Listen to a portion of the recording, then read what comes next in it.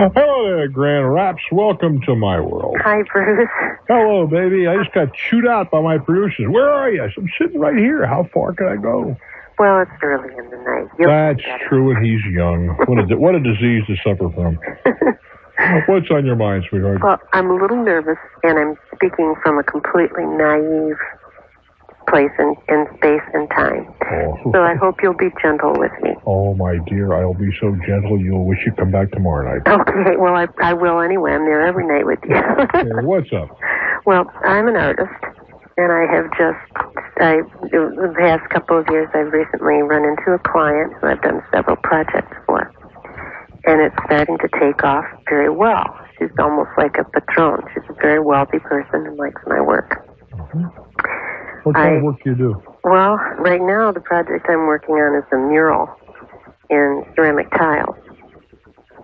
It's um I'll do anything that's not obscene. I'll come up with something that that she thinks is beautiful and I really like to work on and put a lot of detail and, and uh it's important for me to do a good job for her.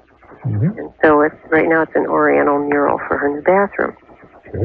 I had w- done one for her kitchen, and the contractor who got me the tiles, the raw tiles, um, and did the installation, uh, paid for the firing of the tiles for that project. So I assumed that, that it would be the same situation with this bathroom project. When I turned over the bill for the firing um, of the first section of the project to the contractor, she said um, that I should turn it over to the client. The client and I had agreed on a price, which I've since found out is pretty low, but I'm learning, um, uh, for a, a set price. Should I expect to be paid the set price and then also give her the bill for the firing on top of that? I have no idea how to handle the business part. Well, let's let's let's go back a little bit. Okay. see, was any discussion made of the firing? No. All right, let's let's let's look at it from the from the from the customer's perspective. All right, Okay. she wants a bathroom done and blah blah blah blah. blah right? Right. What does she know about firing? Nothing. The answer is nothing. So I don't see.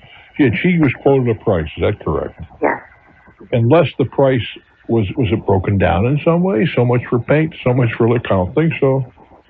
No, what I usually do is she and I go half go half and half on the cost of the materials. Well, is that what you did here? Um, that's what I will do with the cost of the paints and everything. So should firing be included? In Well, the thing is, that was it discussed? She No. she anticipates the the paint, Mhm. but did she? I mean, if she had no knowledge of the firing process. Right. She did ask who had done the uh, who had taken care of the firing before, and I told her that the contractor had. I mean, who paid ask for taken care of? What does that mean?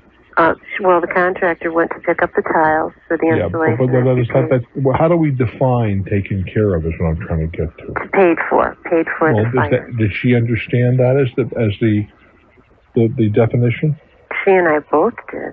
I, you know, she Well, I'd go back to the contractor and say, how much are we talking about, by the way? when- We're Before talking about three hundred dollars and how much is the entire job? for the total firing.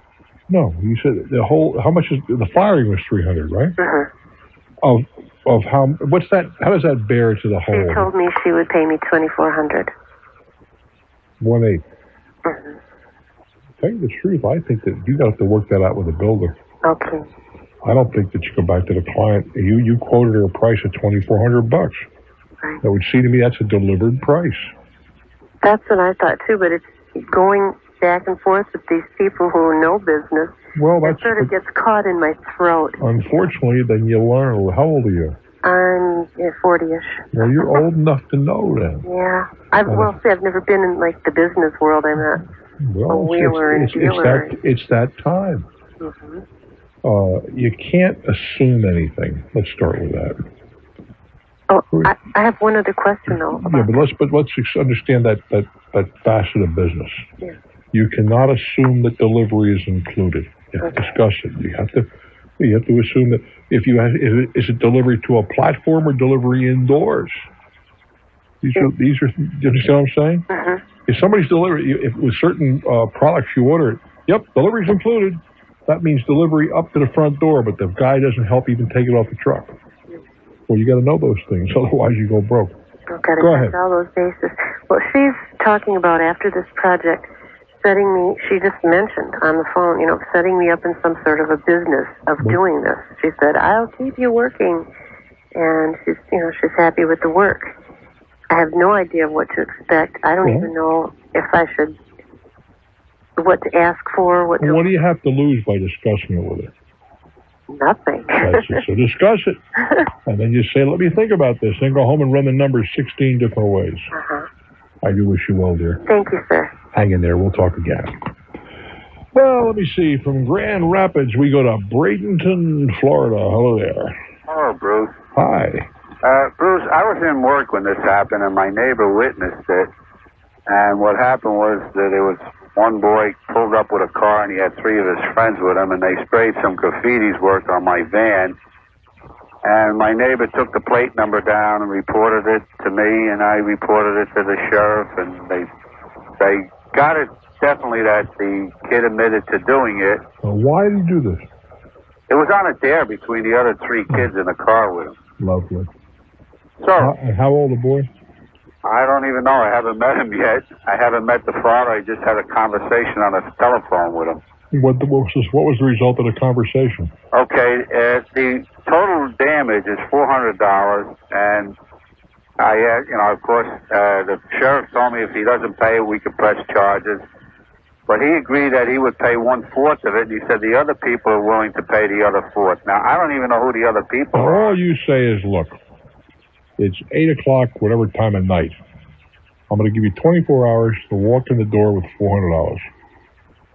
I don't want to know about the other people or whatever. That's your problem. You go talk to them. Uh-huh. All I know is my damages are 400 bucks. If you're here by 8 o'clock, or make you whatever time you pick, with 400 in cash, the matter is closed. If not, I'm going to come, I'm going to prefer charge against your son. Okay. End of story.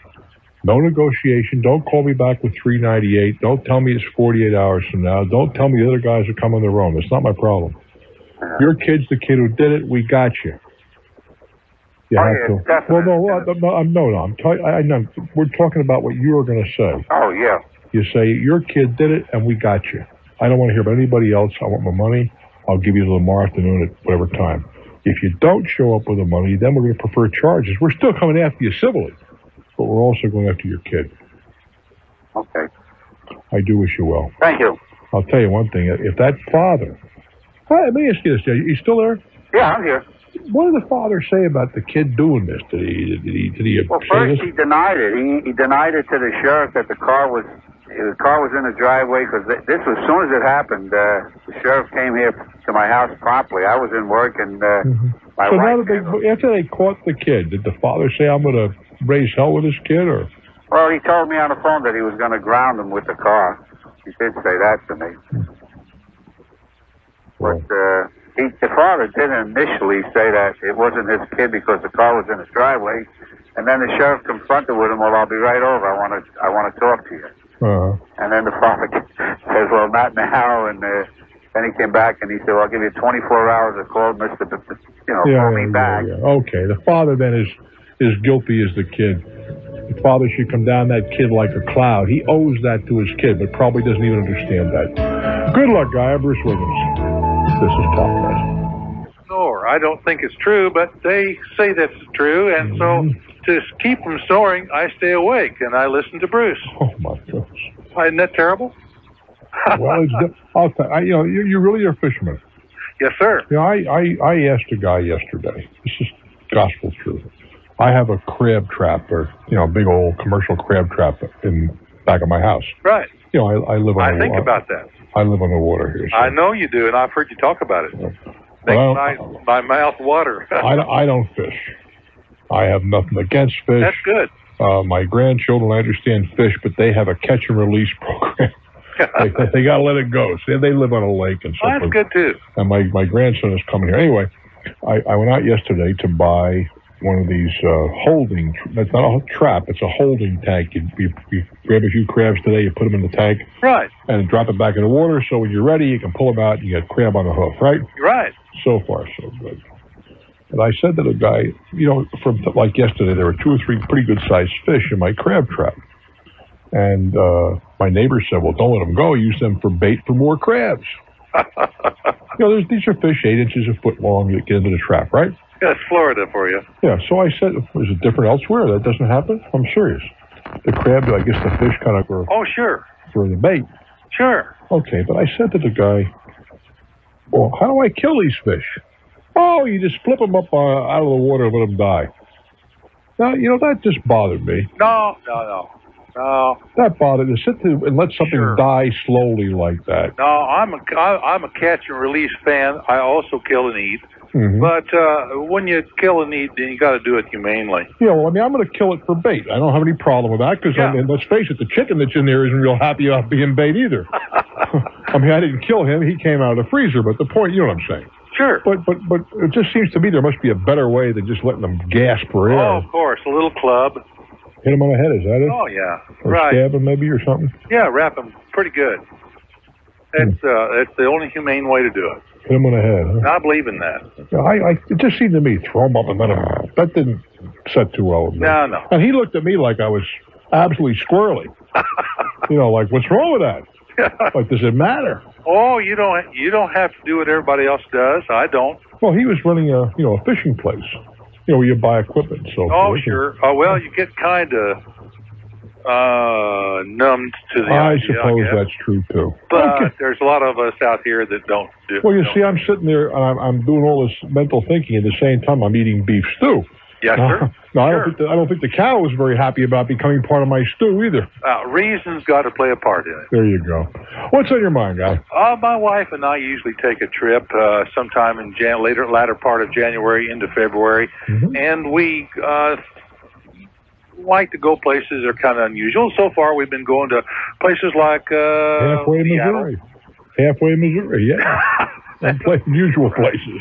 We got to leave here. What is what's unusual about Seattle? Well, no, I don't want to go to Seattle. I want to know what Alaska's like in February. Cold as hell. Well, of course. I mean, oh well, that's it. It's cold. Well, it's cold and it's dark. Isn't that a part of the whole deal in Alaska? I've never been to Alaska in the wintertime. I've been threatening to do it. I'm going to Alaska on the 28th of uh, June. I'm running a cruise to Alaska. yeah. and I'm looking forward to that. I have never been there. I was invited, uh, you know, I don't know, several years ago, to uh, be part of the Iditarod.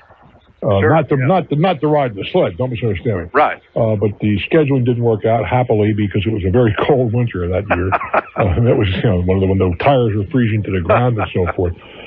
but I'd say go for it. Uh, well, now there's not a, a whole great deal. I think. That, well, let me put it another way. The, a lot of the things that the traditional tourist would do that I would recommend are simply not available at that time of the year. Uh, there's one place I, I I tell you the name if I knew and I've forgotten, but anybody in Fairbanks can tell you. There's a um, restaurant bar where Oh, they where they read Robert Service and that kind of stuff. And it's about Sure. 25 miles in the middle of no place. But when I went there the last time, Big John from the Gold Dredge picked me up in a helicopter. Mercifully, I didn't have to ride back on a bus. But uh, uh, among other things, in the middle of winter, right? Right. They have an outhouse race, which I think that must be a hoot. You know, they put outhouses on, on wheels and they push them down the street, yeah. which I think, and this place is in the middle of nowhere, and it's all lit up with Christmas lights all year round, and the people were as friendly as people could possibly be. It's just Well, a that's what I tavern, and uh, that's certainly different, but I don't know if I'd want to travel 5,000 miles to, to experience it, you say. Summer's better. Well, on balance, yes, I think uh, Alaska in the summer. Well, Alaska in the summertime is, in fact, one of my favorite places. I mean, to, to sit along a river, uh, as we have done, and I forgot the name of the restaurant. It's a very, it's just a, a very nice restaurant where you can, you know, grab burgers and stuff. At one o'clock in the morning, and the sun is out, and people are water skiing. That's that's kind of a hoot. That is a hoot. And uh, you know, you take take the river boat up the Riverboat Discovery, which is runs out of uh, Fairbanks or Big John's Gold Dredge and nice. He has another place downtown now, the El Dorado Mine. Uh, there's just so much to do. That's just in Fairbanks. And you know, you go over to Juneau, and which is the state capital, which is peculiar because there are no roads to Juneau, which maybe makes those politicians pretty smart. Well, there's no roads to halfway either. Uh, so No, come on. there, there are no roads to Juneau. Did you know that? The state capital? I heard that. You can only get there by water or by air. I did hear that. And I think that's kind of a, maybe those guys are real cool. But, uh, you know, Sitka and Skagway and the rest of these places are Nome are, are really the Prince William Sound, Glacier Bay. Um, oh, golly, this, the list is endless. Yeah, right. If, if you haven't, have you not been to Alaska? Never. Put it on your hit list. Oh, I got to go, and I want to go in the summer and fish it. Well, that's another story too. I mean, they, Sure. the, the uh, if you again depending upon your your uh, bankroll. I mean, if you're able to afford uh, somebody to fly you in on a float plane to some of the more remote places, they tell me for a fisherman, you think you died and went to heaven. That's what I want. Well, you can do that too. Yeah. I'll do mine on a cruise ship. Thank you. I also good. did. A, I do the rest of it as well. I mean, I've been to, you know, walking the glaciers and the rest of it. But uh, if for for somebody who's never been there, uh, the cruise up that inland passage uh, is just. I can't think of a vacation that you would enjoy more. It just That's it- good. I'll try. One of, the, one of the things they have done in Alaska, there was a great series. You know how many times I've been there? I, I can't even count anymore, right? And I stayed up at two o'clock in the morning watching Discovery the other night, right Yeah. before last, because they had this stuff on Alaska, Yeah. like Tracy Arm, places that I have been. Right. And one of the things that, that they have managed to, well, I don't even know if it was managed, but well, however, is so much of that area looks like it looked when man first got there. In other words, it, it has been, it hasn't changed. Ten thousand years ago. Yeah, the, the well, the, obviously the, the glaciers and, and whatever. There's the top, uh, topography changes by by virtue of nature, Right. but I mean it's just unspoiled. I was flying somewhere. I've forgotten where to be. It doesn't really matter. In a commercial jet, right? Mm-hmm. I had to get on the phone and call some friends from the plane and just share with them what I was watching. It was so magnificent. Yeah. And that doesn't happen. I'm pretty, pretty, pretty. You know, I, I, I don't get impressed easy. I guess that's what it comes down to. Takes a No, lot but you've been impressed by Alaska because I've heard you talk about it Oh, lots of it is just so magnificent. It You really is. The uh, and the people are as nice as any group of people. You're, you're going to find stinkos like every, but as a group, Right. the people are as nice as any group of people it has ever been my privilege to meet, and that's a fact. I do wish you well, guy. Thanks. Hang in there. I'm Bruce Williams. This is TalkNet. Hey, Danny and I are hanging out tonight for an extra hour. We are indeed. We'll be taking your calls off the air, laying them on tape for broadcast at a future date from 10 to 11 p.m. Trying to catch up a little bit so I can travel next week. I'll be going down to Austin, Texas, to KLBJ country. Yeah, we're going to do the program live from KLBJ studios Thursday and Friday, and I understand the limited number of you will be allowed to drop by, so listen to their morning and afternoon shows, and they'll be very happy to tell you how you can get tickets to drop by and we can get acquainted. That's Austin, Thursday and Friday of next week. I think that's the 18th and the 19th. All righty, let me see. It's Hermantown, Hermantown, Minnesota. Hello there. Bruce, how are you doing? Ah, I'm doing real well, thank you. That's good. I've got a question for you. I hired a construction company to blacktop my driveway. Mm-hmm. Signed a contract with them, and uh, they put me off for about a month and a half or so. Why do you suppose that was? Oh, they were backed up. I would, I would assume, due to rain, weather, and whatnot. When when did you sign the contract? What time of the year? Uh, the date on my contract shows uh, May 23rd. Okay, right in the springtime. That's a good time for asphalt. Yeah. I assume Uh, it's asphalt, right? Yes. Okay. They started work on it. Did came in and did all the dirt work, site preparation work for it on October 31st. May, June, July, August. Boy, you a patient guy. there was a lot of phone calls in between, believe been would have been about two phone calls from me. I'd say goodbye, go away. Did you give them any money up front right away? yes, I did. 10% mm-hmm. down. Another mistake. Okay. Maybe maybe ten percent when they showed up on the job, but not. Well, go ahead. Okay. Well, they came in October 31st and did all the dirt work. That's the first of November. You're in Minnesota. yes. That's when winter starts. Yes. Well, November 1st, they shut down for the winter. They're they're completely done. They don't do anything else, no matter what the weather. If it's decent, Well, it's probably because the asphalt plant shuts down. yes, they and they have a hard time with uh, the cold joints and stuff like that. They came out and they screwed the whole thing up, and then they they said, "Well, see you in the springtime." Well, they just did the dirt work.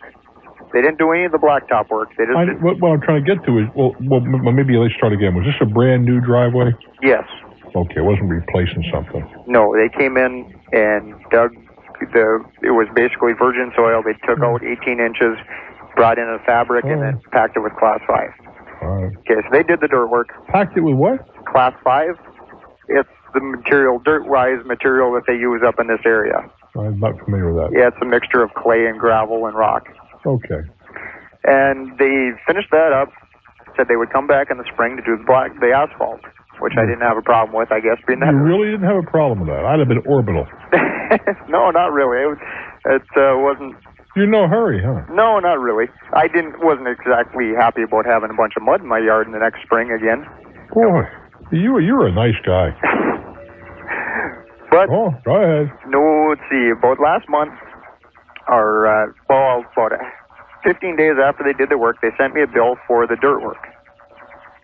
And I just kind of disregarded the bill. I Well, good for you. I didn't. I figured, well, I gave them 10% down with contract saying the balance due upon completion. How much was the whole deal? The whole deal was $3,600. Right. How much was the bill they sent you for? The bill they sent me was uh, 1500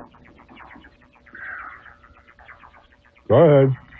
Uh, I disregarded that first bill. They sent me another bill saying they wanted it paid, and they also added on $20 service charge for each month that I haven't paid it. And I'm not exactly happy about, you know, paying for something until I wouldn't consider paying them. Furthermore, I wouldn't ignore the bill. I'd get right back to them. I did call and them say, back. not by the hair of my chinny chin chin. okay. Man, you're a very nice guy. I mean, I would I would have sent them a very testy letter. What the hell is wrong with you people? We gave you a job in May. You come in here the last day of the season. You you destroy everything and dig it up, and now you want to get paid for that? You got to be kidding me. You're lucky I'm going to pay you at all. That's what I tell them. All righty. I mean, that's absurd.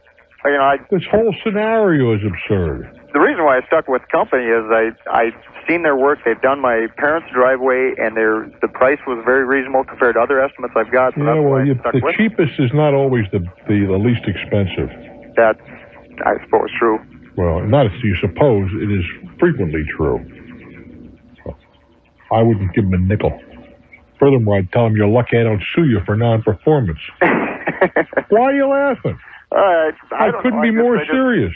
I just thought it was uh, I, they were busy and uh, they're trying to run a company. I figure, well, they'll get to me when they got a chance. Boy, I, I hope I, all my customers are as nice as you are. I wish you well, guy. All right, thank you. I much. wouldn't pay them a damn penny. Not a kopeck, not a ruble, till the job was absolutely perfect, and then I'd probably want a discount for all the inconvenience. I'm Bruce Williams. Love to hear from that contractor. This is TalkNet. Let's go to Sunrise, Florida. Hello there. Good evening, Bruce. Good evening. I am a tax accountant, and presently I advertise my tax return preparation services in the Yellow Pages. And this year I'm thinking about running some spots on radio, in particular during a talk show format. Hmm, how about a Talk Net show? It's even better. Well, actually, I'm thinking about your show. Well, that's the only place to be, of course. Yeah, right. Might as well go with the best. And, uh, absolutely. And I'm just wondering, do you think this would be cost effective? Uh, basically, um, appealing towards the middle to upper middle com individuals. Here's the problem with any advertising venture. You got to figure out, first of all, where your ducks are. I mean, if you want to go duck hunting, uh, trust me on this one, the desert is not the best place to begin. Would you agree to that? True. And, and before you begin that, you got to know what a duck looks like. Agreed. Okay. Now you start to describe your duck, middle income, certain age, and all that sort of good stuff, right? Right. Well, certainly those are uh, among those people who listen to talk radio. If you wanted to sell a pimple medicine, I would tell you this is not the place Right. because that's just not the audience that's going to be. They aren't smart enough to listen to what we do. A few kids do, but they're not smart enough just yet. You see. Now, the only way to find out if radio, if at radio or any other kind of advertising is going to work is to try it, and that doesn't mean one spot or two spots or five spots.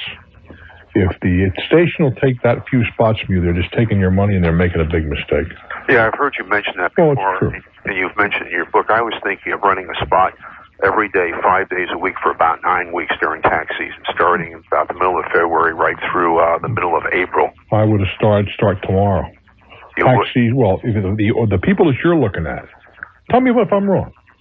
The people that you're looking for, a significant number want that tax return as quick as they can get it.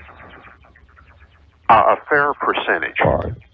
Now, those people are the guys who are beating their employers' brains out. Give me a W-4. Give me a W-4. It's not due till the 31st of January, as we both know. Right. But they, I mean, I have people working for me. Hey, can I have my W-4 now? I want to get my return. Well, those people are, middle of February, you lost them.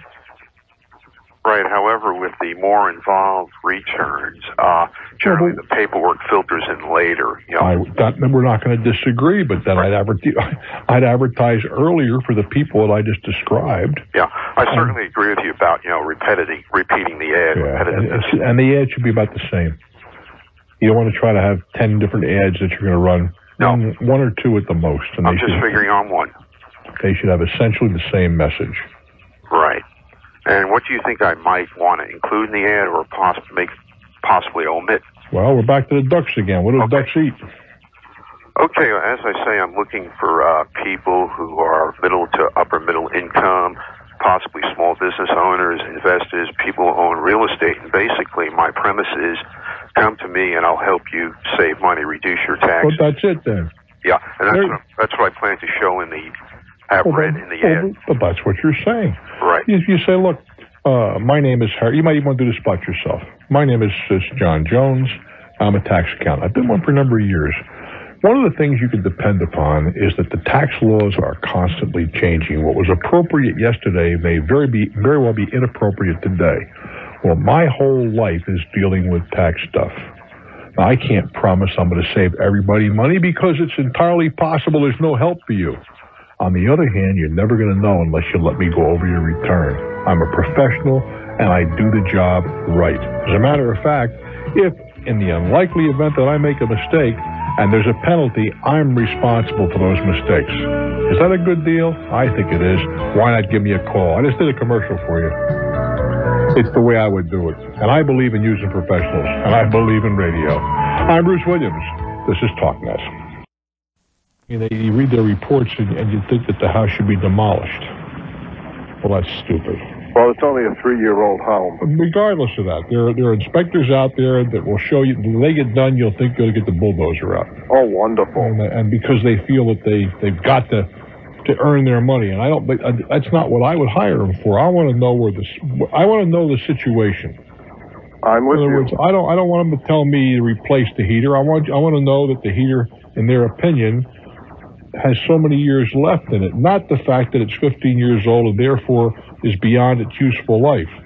Because we all know that there are cars that are 20 years old that are running better than cars that are two years old. That's right. I, That's that's I have one now. There you go. That's what I'm paying for. You see. The other thing is on the home inspection.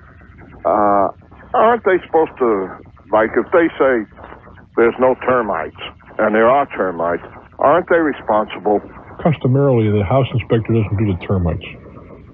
A termite guy does the termites. Ah, well, let's say and yes, if, if they certify that the house is termite free, then they have responsibility. Yes. because on several of the ones that we spoke to, they said they don't guarantee anything. Well, but and the most of and not most, many companies will say that, and that's I don't care who it is, including anybody I do a commercial for. That's not true. Ah, It's nice to put a disclaimer on there, but but let's face it, it doesn't mean a damn thing. that's what I would have wanted Well, here's know. the thing: you hire, in this instance, a house inspector, or you hire an attorney, or you hire a physician, or an accountant, whatever. You're hiring an expert Yes. to do something that you don't do. Now, they don't have a right to just say, "Well, okay, uh, you're hiring us, but if we screw up, too bad for you." That just isn't the case. You are hiring them as an expert, and if they blow their expertise, then you have recourse against them. If an Very attorney, good. If an attorney screws up, I'm going to sue the attorney. If a doctor screws up, I'm going to the doctor. Now, screws up in the case of medicine is not the same as screws up in the case of a plumber.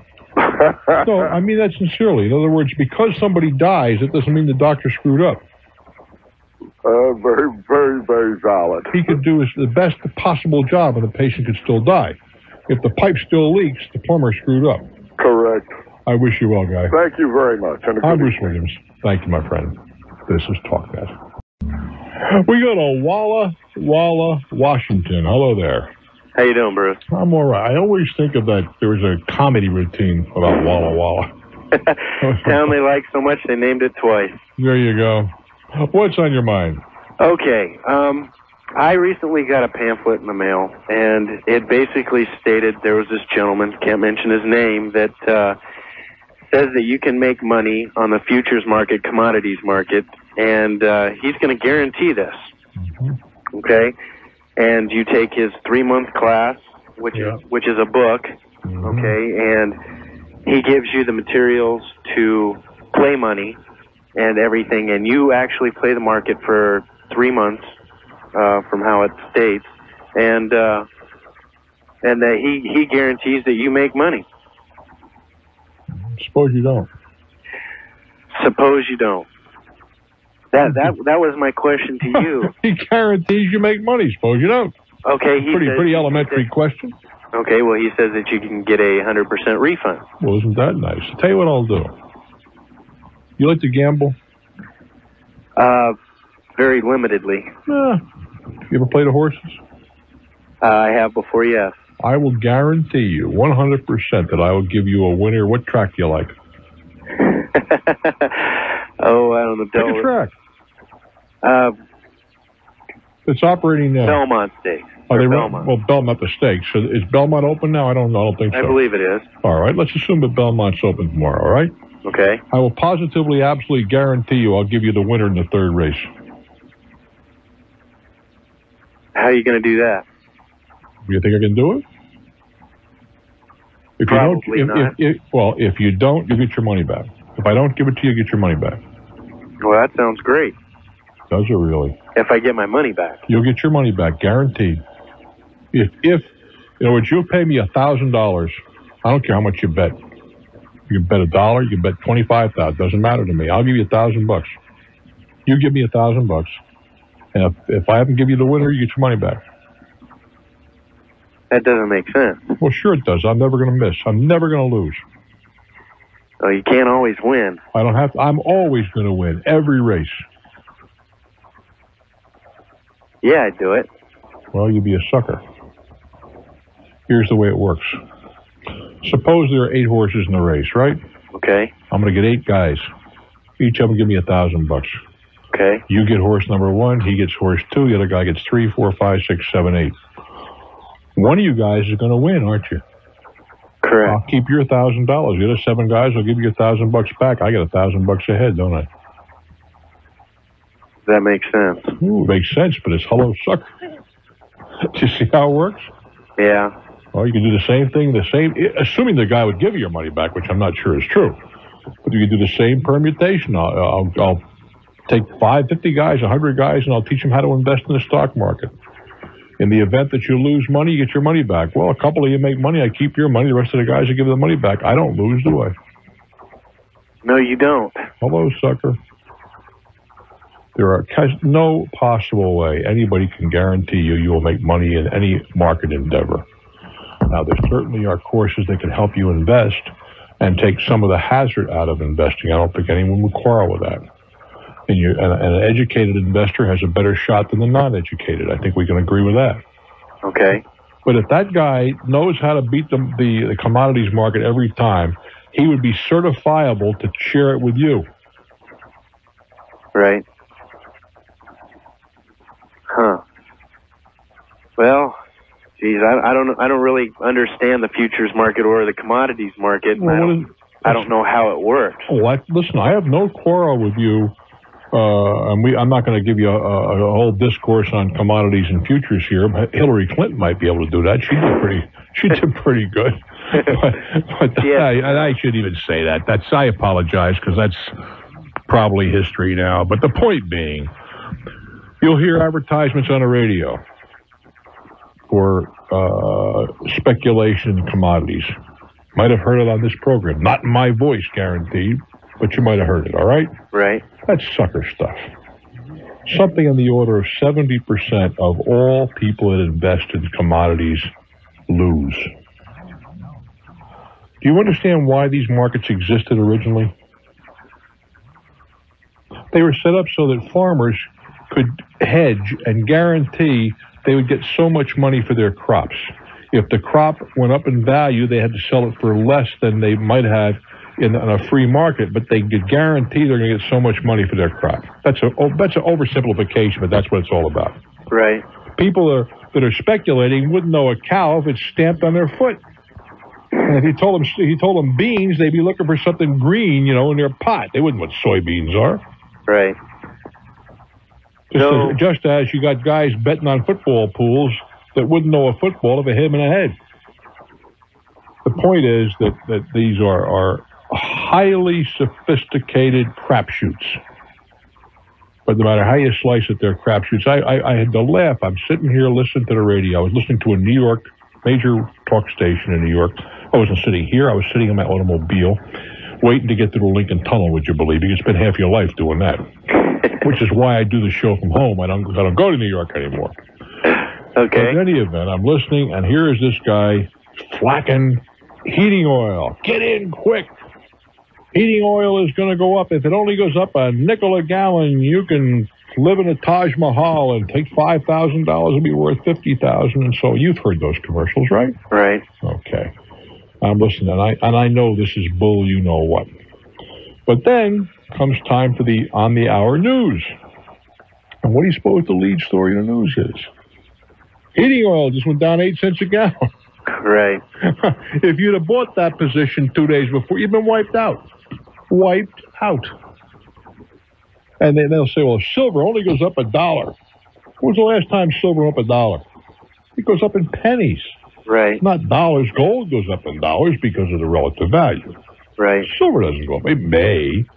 The point is that this is speculation, man. You can you could have as good or a better shot at going to Las Vegas and playing the don't pass line and laying the odds. There, you only got about four tenths of one percent against you. That makes sense. Now, if this guy, But, if this, but even there, you're going to lose. yeah, if this guy prints and a guarantee that you'll get your money back, then he has to abide by that. Is that not correct? Boy, I, I- I want you to check your chest right now.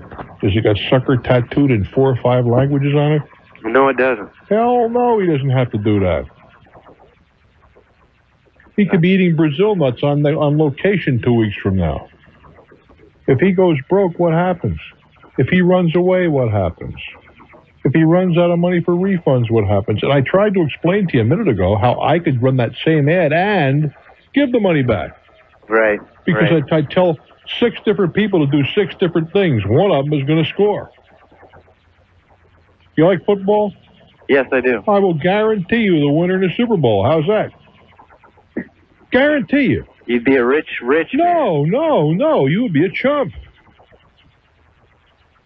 Yeah. Same. It's the same. Look, don't you understand the scenario I just described to you? Yeah. Yeah. I understand that. Well, let's go back to the Super Bowl. I'm going to pick both teams, One's gonna win. and one's going to win. Thousand guys. I'll get a thousand guys over here on the one side, a thousand on the other. The thousand guys that I don't give the winner to, I'll give them their money back. Right. The thousand that I did, I'll keep the money. How do I lose? So your suggestion is to not venture into something this risky. You got to be. No, it's not a question of risky. There's no risk here. You're guaranteed to lose. Don't you understand that nobody has to send circulars in the mail if they actually, if somebody finds um, the ability to turn base metals into gold, they don't have to share it with you. If somebody finds the fountain of youth, trust me on this one, they are not going to have to advertise on radio and television. People will find them. This is sucker stuff from beginning to end. I do wish you well. I'm Bruce Williams. This is TalkNet. Hey, Danny and I are going to be hanging out tonight till 11 o'clock, between 10 and 11, taking your calls off the air at 800 743 8000. I do hope you are encouraged to join us. Fayetteville, North Carolina. Hello there. Hello, Bruce. Hi. Bruce, what city did you grow up in? Oh, golly, a number, but I guess if I had to blame somebody, it would be East Orange, New Jersey. I guess that would be the, if I've ever grown, that would be probably the, that was the elementary or junior high and high school. Oh, it just seems uh, through your uh, wisdom, you learn at a young age not to trust everyone, uh, Well- which I assumed was from growing up in a urban area. Oh, I grew up on a street. No question about that. I, I was, I was a, a street hustler from the time I was 12. Yeah, yeah. Is, Uh, yeah, wrong? is, there- is there something wrong with that? No, no, nothing at all. I just, just, uh, uh, uh, I grew up in Chicago, and my first job I ever had was delivering the Chicago Sun Times for a man we finally referred to as Jake the Gypper. and I can still remember, you know, 30 years ago, I can still remember going in the alley and all the other little paper boys telling me the first day on the job, watch out for Jake, he'll cheat you on your collections. Mm-hmm. Now, I, you know, I'm not that smart, and I was just a little kid. I don't know whether he was cheating us or not, but I know I didn't make a whole lot of money on that job. He probably did. you, you don't get reputations like that undeservedly for the most part. yeah, yeah, what are Ah, you- but you learn, you see. You learn from people. I mean, there, there's some people that I learned from who have uh, been the subject of books. and, Yeah. and some of them have, have uh, been the denizens of some of our better penitentiaries, Yeah, yeah. which is a whole other program.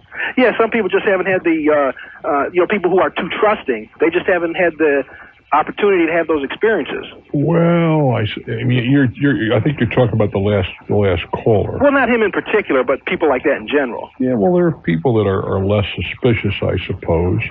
Uh, there, but but I have always, I, I I remember at a very young age looking for the hook, figuring out what you know. Or this is what the guy's saying to me now. What what is he really doing? Yeah, yeah. What does he, I- what, what does he really want? what's really happening here? Yeah, someday I'm going to tell some stories publicly that will shock some people about my callow youth. But I, you know, I, I told them in, in private, "You got to be kidding! You really did that stuff?" I, yeah, I really did. But uh, I'm confident the statute of limitations has long since uh, freed me from any problem of prosecution. anyway, what's on your mind? My question is, uh, you always say how you must have an attorney when you're purchasing a house. What about when you finally pay off a house? I have a rental house I'll be paying off in April, and I It isn't, it isn't. outright. It isn't necessary. I have always just, hey Nate, I'm paying off a mortgage. Make certain that the the satisfaction is filed and get me the papers. And he charges me a nominal fee. I just don't do things like that myself because I'm I'm always aware of the fact that if you screw up, it can be very expensive. If there's nothing that you couldn't do yourself, I would not. So it would be good to get an attorney, make sure the title and everything. What did I just get through saying? Yeah. Well, I, I mean, I, I, I mess around not so much as I used to with property. Now I'm kind of in, more in a selling mode than I am a buying mode. Although I'm probably going to buy a couple now. But the point is that uh, I'm selling, I'm selling a piece of property in, uh, I guess a week or two. I hope I the closing's coming off in a week or two. I have nothing to do with it. Literally, I'm not going to be there. I have nothing whatever to do with it. I, I believe in letting professionals uh, do what they do. You know, I don't I don't fill my own teeth. I don't cut my own hair. I don't do my own taxes. I do what I do well and allow those people that I mentioned and many others to do what they do well. Okay. I, I, I would prefer. I'd be. I'm just more comfortable when uh, when somebody does it that way. And if, if, if you can look at it in- from a little bit different perspective, it's an insurance policy. Because if he fouls up, I have recourse. If I foul up, I can just kick myself or I don't get a headache. Right. And I've done that so often. I'm telling you, I'm, I don't want to do it anymore. Yeah, yeah. I've kicked myself enough times too. Yeah, we're, we're talking about a, a, such a, a small amount of money. I don't think it makes any sense. Yeah, yeah. The money wasn't really an item. I just, uh, well, really, I just wanted to uh, thought of something I could ask you. Well, I, I appreciate your call. Congratulations on the mortgage, kid. Hey, uh, God bless you, Bruce. Thanks a lot. We'll do it again. We go a little further south now from North Carolina to Charleston, South Carolina. Hello there. Hi there, Bruce. How are you? I am just fine, baby. Well, I need your wisdom on something. Um, I got an advertisement through the mail for a tax magazine, and I wanted to see what your opinion would be on it. Uh, it's, it's a small investment, but um, Well, I don't want to wake up in the morning and see sucker tattooed on my forehead either. Well, on your forehead. We got away from the chest here because it's, uh, it- yeah, never mind. uh, I have no problem with things of that kind. I mean, let, let's assume that 99% of the magazine is a waste. hmm If 1% has some value to you, you got a bargain, True. as I see it. Uh, do you do your own taxes? Yes. Okay, well, I think that depending on, on your circumstance, I think that's a mistake. In more cases than not, if if you're thinking about buying a magazine on taxes, then I think it's a mistake. Well, I'm I'm a little skeptical because it says there's over 400 legal loopholes that um, can keep your money money hidden from the IRS. So well, I, you see that, that that's a statement that that that you could probably make. Uh, there's when you say legal loopholes, there are a lot of things you can do, and you can dramatize it by saying hidden from the IRS. Um, on television, I haven't seen it this year, but there is a, an infomercial for a tax magazine, Mhm. and guess who did the infomercial? IRS. Moi. You. Me, me, yeah. yeah we, uh, it was for Money Magazine. Now, certainly that's a, a reputable time as a reputable corporation. I have no problem with that.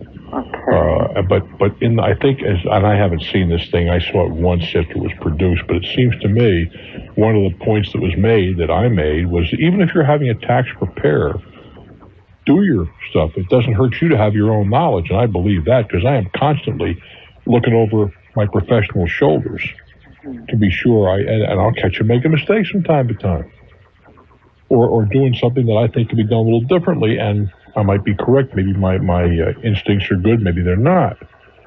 But uh, let's let's do it this way. How much money do you earn Um. Well, right now it's probably under fifteen thousand. in that case, I'm I'm trying to start up a business, so All right. You're married, single, what? single.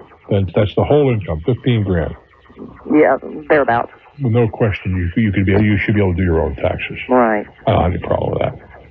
And as a matter of fact, I don't even know if you need a book. There's, there's very little that you're going to pay anyway, if anything. hmm But I have no problem. I, I, I have oftentimes said in, in stuff that I've written, if 98% is no good, so what? To you. hmm That 2% is well worth the price of admission. Uh, are you a college graduate? Um, not quite yet. Okay, you went to college. Uh, yes. would you let's let's look at it I'm, I'm going to try to put it in quantitative terms i don't know that's fair but of the all the courses you've taken are they are they been all beneficial in your life?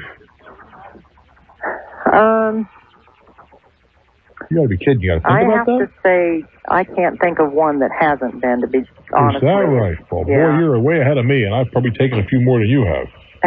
There are a lot of In courses that were or other, pure baloney. Oh i had a lot of stuff that was pure baloney i can't think of one benefit i got for example i remember this i can date the day even uh, when alan shepard went up into to space as a suborbital ride Mhm. miss rogers god bless her i'm sure she's no longer with us told me i'm going to flunk and she would that was my i was graduating that year and i wasn't going to graduate if i cut her class to wa- to listen because they'd been watching everything and I said to her, you know, that this, that the class was classical music. I figured Bach has been around for a long time. He'll keep it tomorrow morning, Miss Rogers. No, no, no. And I said, this history is being made today. We're going to be in space, et cetera, et cetera, et cetera. And I, I cut the class, and I listened to Mr. Shepard take his ride. I, I have met him subsequent to that time. Uh, I can't think of one thing I got out of that course. Yeah, I have to agree with you. Okay. So uh, the point I'm trying to make is that if you if if the truth were told, we could probably go through a four-year college program easily in two years if we could eliminate the stuff that really had no value. The troublesome part of the equation is what had value to you may have no value to me, and what has a lot of value to me been totally worthless to you. So we have to be exposed to all these different things True. in order that we can sort things out. Do you, do you see what I'm trying to get to? Yes, I do. Uh, I wonder if I can ask you one one quick question. Um, I have a couple of uh, stocks that I uh, one I per- I got through a company that I worked for. Um, I'm not real up on stock market, and and I really would like to know if there is a good place to start learning. If you can suggest a good book, No. no, I suggest a lot of periodicals, though. such as We mentioned Money Magazine before. Money. Okay. Money with the Wall Street Journal, Fortune. Uh, Is that easy to understand? I mean, I always. well, wait a while. I'm not suggesting that you read these things like you read for a course that you were going to have a test in. Mhm. You glance at them. Uh, on the floor, about a foot and a half from me right now, is the is the is USA Today. Number two section is the one green section, financial section. Now, if you put a gun to my head, I couldn't tell you everything that was in that section, but I glanced at it today. I glance at the journal. I glance at other things. You pick stuff up a little at a time. We're not talking about uh, a crash course, I don't think. Well, I'm trying to understand if, well, I'm trying to figure out whether or not the investments I have are, are really making money for me or if I should get rid of them and, and Well, get something better. Well, you see, you've asked three entirely separate questions. The first one is, are they making money? That's an easy question to answer. Just take a look at it. Is it making money based upon its current value? That's easy. Is it going to do better or worse? That's tough. Should you change? That's even tougher. You've asked three tiers of questions there. But the uh, the the only way that I know to uh, to handle the, the is to get a gradual education watch uh, the, the financial channels on television from time to time. But the magazines and the periodicals, I think, are the best place to begin. And of course, if you can find the time, nothing wrong with taking a course at a junior college or at your local high school adult education if the, if the time permits. I do wish you well. I'm Bruce Williams. This is TalkNet. Grand Rapids, welcome. Hi, how you doing? I'm doing real well, thank you. Well, I can think of nobody better whom to ask this question.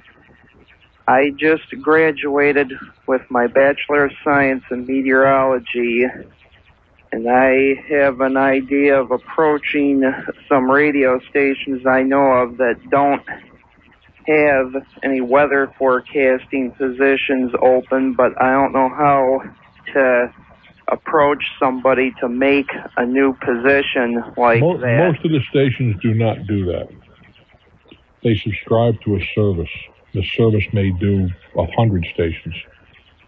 I, I I think you'd be hard pressed to find anybody that has their own in-house uh, meteorologist at the, at the in the in the radio business today. Anywhere.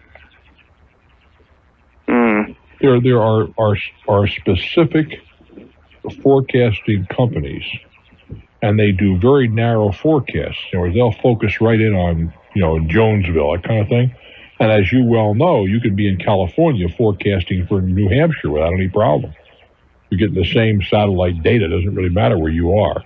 And with the uh, uh, capability of things like I'm using right now, the Switched 56, uh, they can sit there in their studio and the guy will do a forecast for New Jersey, and then he'll get right off the air. The next forecast is in Ohio, and the next one he's going to be getting right back on. Two seconds later, he's talking to Bangor, Maine, or whatever. That's the way it's done today. I don't think you're going to find the radio station with an in-house meteorologist. It's just too expensive, and it's not. It's just not. Doesn't make any sense. Well, there are several stations in the area I know of that though the although the meteorologist is not an in-house meteorologist, they have one meteorologist they call a staff meteorologist. Yeah, but that guy could be thousand miles away. Is what I'm trying to tell you. Okay, but and you don't know it because you're coming. Like right now, you and I are talking, right? Yes. My producer's a thousand miles from me. the guy that you just spoke to, Danny. Yes. He's a thousand miles from where I am. Now you have no way of knowing that, do you? Not really. And you're and you're in at, at WOOD Radio, right? You're up there in Grand Rapids, okay? Yes. I'm certainly, uh, I'm guessing, 1,300 miles from you. Now, there's no. Can you tell the difference between when I'm talking and your local announcer is talking? Not much. Yeah, not I mean- much. You can't tell at all. And I'm telling you, that's the way the fork, the radio meteorology is done today. It is done through companies that, that service 50, 100, 200 radio stations. Now, if I were to approach, or how would I go about approaching radio? Say I, I didn't want to be an in-house meteorologist, but I wanted to start my own radio weather forecasting. You got to set up. You've got to. You got to sell them on what you're doing, and oftentimes it is not sold; it is bartered. In other words, you get paid in commercials, which you then have to go out and sell. Okay. And you also have to be able to provide what they consider to be accurate forecasting. And the way you do that is empirically. You, you'll forecast for three months or four months, and they'll take a look and see at the end of that four month period, well, let's see how this guy did. Okay. But the ch- but your best bet, since you're just a recent graduate, would be to try to get a job in one of these companies. Okay. And I'm sure your your your uh, uh, department head ought to be able to help you out with who they are. But that's the way it's done today. It's done through centralized companies that specialize. There may be an isolated station somewhere out there that has its own staff meteorologist. I can't imagine why they would, because as a practical matter, these companies can do it cheaper and they can do it better. I'm Bruce Williams. This is TalkNet. Let's go to WCOL Country, otherwise known as Columbus, Ohio. Hello there. Hi, Bruce. Thanks for taking the call. Oh, I'm glad you're here, Kai. What's in your mind? Well, a year ago, I bought a new car, and I got a lemon. Mm-hmm. Started uh, transmission problem, power window problem, uh, alternator, so on and so forth. Um, and so, after many months of talking with the uh, with the manufacturer and sending letters around and so on and so forth, this very evening they have called me and said they would like me to uh, to bring the car back to the uh, local dealership here, where I didn't buy the car there, but they're the ones that have attempted to do most of the service on it. Uh, they said, bring it on back up here. We'll uh, go ahead and take that on a trade in, and we're going to give you uh, twenty five hundred dollars in uh, trade allowance towards uh, towards buying a new one. Wait a minute. How old is this car? Um, a year and a week. I bought and it. they, only, the and they only want to give you twenty five hundred for it. Um, they're well, they're for my for my time and trouble. Oh, well, supposedly. Well, maybe I'm missing something. They're they're going to um, appraise the car and take it, buy it back from me, basically at whatever the fair market value for it is. Basically, uh, you know what you would trade the car in for. Oh, okay. That that's got to be more than twenty five hundred dollars for Oh yeah, well I mean, they're, going to give me twenty five hundred dollars on top of Over and above. yes, Oh, it's not such a bad. How many miles you got in this car? twenty one thousand. In a year? Yeah. What? What are you? What, what kind of drugs are you pushing? Or what are you? Well, I I moved from from another part of the state, and I ended up having to to commute for uh, for about a month. I see. Oh, a month. That's a lot of miles. That's a lot of. I mean, even though the the car was giving you trouble, apparently it didn't give you so much trouble you couldn't drive it close to 500 miles a week. Well, that is that is true. A lot of those were put on early in its life. Uh-huh. Well, they're going to discount the, the clearly the uh, the mileage you put on there, and there's a couple of ways that could be done. You could start with the the price that you paid for it, less so much a mile, Mm-hmm. or in the alternative, just go to the uh, the ADA book and come up with a number. But the 2,500 doesn't seem bad price to me. Well, the, the I guess the thing that kind of disturbed me was the fact that I have to actually go, um, you know, go through the process of buying another car. I have to go and you know negotiate off the sticker price and Well. and pay the uh, taxes what- again and, and Well, no, wait a minute. Hold on. You don't. You don't. Wait a minute. You, you. I think in most states you get credit for the uh, amount of sales tax you paid on this car. You only pay sales tax on the difference. Oh, really? Yeah. Most states, I believe, are that way. Hmm. I'll invest. if, if you're trading in a ten thousand dollar car that you've already paid sales tax on, you only pay sales tax on the difference, I believe.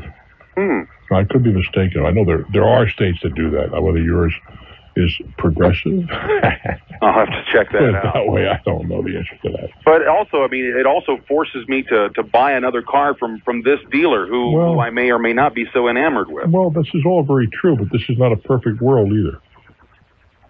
And uh, on, balance, it doesn't sound to me like a bad. You know, look, there they, you might be able to. It's rather like any other any business transaction. Maybe you could squeeze another nickel out of it some way or other. But usually, Uh, in my experience, it's better off to get it out of the way. It doesn't sound like a, a, an unreasonable thing. They're paying you something order of fifty bucks a week for your trouble, and which is not a a bad number. It seems to me. Good luck with the new wheels, guy. Don't forget, kids, we'll be here from 10 to 11 this evening taking some calls off the air. I hope you join me. Thank you for this hour. I'm Bruce. This is TalkNet. All this time, you're going to travel and you're going away. Don't try to economize for 30 cents. Right. Doesn't make any sense. And, and for crying out loud, don't go to McDonald's or Burger King or someplace. Uh, there was a restaurant that used to be right by the bridge. uh, in Nassau. It was called the Over the Bridge Inn, which is a pretty decent restaurant. It is now a, a franchise, and the franchise ain't bad. I've eaten in their store, and I would continue to go to one in New York City or someplace where I'm, you know, just looking for something to eat. But I most certainly wouldn't travel that far on a vacation and go there to eat. It's a rib joint, or at least the last time I was there was a rib joint. Who knows what it is today? Do you see what I'm saying? Yeah. If you're going to go all that far, go to a good local restaurant. Why would you want to eat in a damn hotel? Uh, I don't know. Yeah, that's well, you. well, when you travel, I mean, you- have you traveled for vacation before? Oh yeah. Well, did you eat in hotels? No, not really. That's absurd. I don't care how good the food is. You can always eat now. You can go to if you if you want to eat in a hotel, go on downtown Goldsboro. It's the same food. I'm, I'm, it's the same food, right? I, I would imagine so. Of course it is. If you're going to travel, for Pete's sake, take advantage of the traveling. And part of that is to go to some local restaurants. And you may be disappointed in some of them. And the service may not be too swell in others. But that's the way you find out. Okay. I mean, goodness gracious. And I really think I'd think that one over a little bit if I were you. If you're going to go to the, for the first, there's nothing wrong with the Grand Bahama, by the way. Mm-hmm. Not a thing in the world wrong with that. And as I said, I've been there and I'm sure I'll go back. But there's very little to do, I'll tell you that. Very little besides going to the beach. Well, that, that's that's that's the big reason we're going. Yeah, but you can only be in the beach all day, then what? Your batteries are all charged up, you've been laying around doing nothing, now what? I don't know. I reckon we could lay around and do some more nothing. Well, if that's you, okay, that would drive me crazy. There are two casinos, by the way, in the Grand Bahama. There are uh, casinos on Paradise Island as well. Well, you heard what I said. If I was choosing the Bahamas, first time would be the Nassau area. There's far more to do. Okay, we're going to look at some packages for that tomorrow. Then I wouldn't look at packages. You wouldn't? No, sir. How would you that. how would you do it then? I would get an airplane and I'd get a hotel. Hmm. And I'd go strictly European plan, which means you get a hotel room. I wouldn't want to have to be. Ma- you see, the problem with this, I got to turn you loose. So you would stay at you would stay at a resort? You'd stay at a hotel? Oh, absolutely. Are you talking about one of these these like like a Club Med or whatever? Yeah. Ah, no, no. There's nothing wrong with those places. Please don't mis- don't misunderstand me. But if you've never been here before, you want to go out and do things. Who wants to be locked into one place? I most certainly would not. Not at all. I want to be out doing stuff, seeing different things, things that I can't see at home. I don't want to have to. And the problem is, if you pay for the breakfast and pay for the dinner, you'll feel obliged to eat it. That's what it comes down to. I'm Bruce Williams. Stick around. This is TalkNet. Let's drift over to Terre Haute, Indiana, and I should remind you because I haven't done so. We're going to be here tomorrow evening from six to seven Eastern, taking your calls off the air for an hour before the show, as we are this evening, one hour after. Your turn. Hello there. Hi, Bruce. How are you doing this I'm very, very well, thanks to guys like you. Well, thank you. It's a pleasure to uh, hear you every evening on uh, on the radio, and uh, I guess it's a service to us that are um, not as knowledgeable in financial matters that need a little uh, boost or kick in the butt every now and then to get I don't know if I, you know, I don't really think of myself as doing a financial program. I really don't. I think I do a show that's pretty much about life as you and I have to live it, not as personalities and then the stars and uh, have to live it. Oh. How come our lives are so much different from theirs, you know? They're worried about it. Can we get the caviar delivered for the big parties, see? I don't know. That, uh, that's what they get for living out in La La Land, I guess. I've never had that problem. What's on your mind, guy? Well, I'm uh, 40 years old, and uh, over the years, I've done a pretty good job of getting my and keeping myself in debt. And uh, I guess I've learned a long and wrong way of uh, how to go through life. And now, since I'm kind of at a crossroads, I want to try to get myself back on kilter again. What's the crossroads? Well, the crossroads is that uh, to get oneself out of debt doesn't mean getting oneself into debt further by uh, getting into more credit cards and Oh, what you're talking about is maybe getting some, uh, taking some bad habits and, and, and getting rid of them and maybe learning some good habits. That's it. All right, let's talk a little about you. Married, single, what? Single. What do you earn a year? Oh, I'd say um, fifteen, sixteen thousand. What do you do? I'm in sales. What do you sell? Uh, well, I'm in the uh, relocation business, moving, Oh, you sell moving? uh, moving services. That's a pretty tough racket, isn't it? Well, it is. It can be. It's uh, uh, it can be cutthroat from time to time, but uh, I guess whoever's got the sharpest pen and can. Uh, How long you been in the business? About 14 years. And, and you're still only making 300 bucks a week? Uh, well, that's uh, my base. But depending on what my sales are, if I uh, do well, uh, you know, it, it can be better. What did you make in 1994? Is the year's over? Uh, I'd say over 15,000. well, you're, that's 300 bucks a week. Yeah. Yeah, last year wasn't all that great. Isn't there something else you could do to make a little more money? Well, apply myself at what I'm doing. Uh, Well, that's that's certainly one answer. How much are you in hock for? um, 12,000 total. Be still my heart. That's over a year's take home. I know.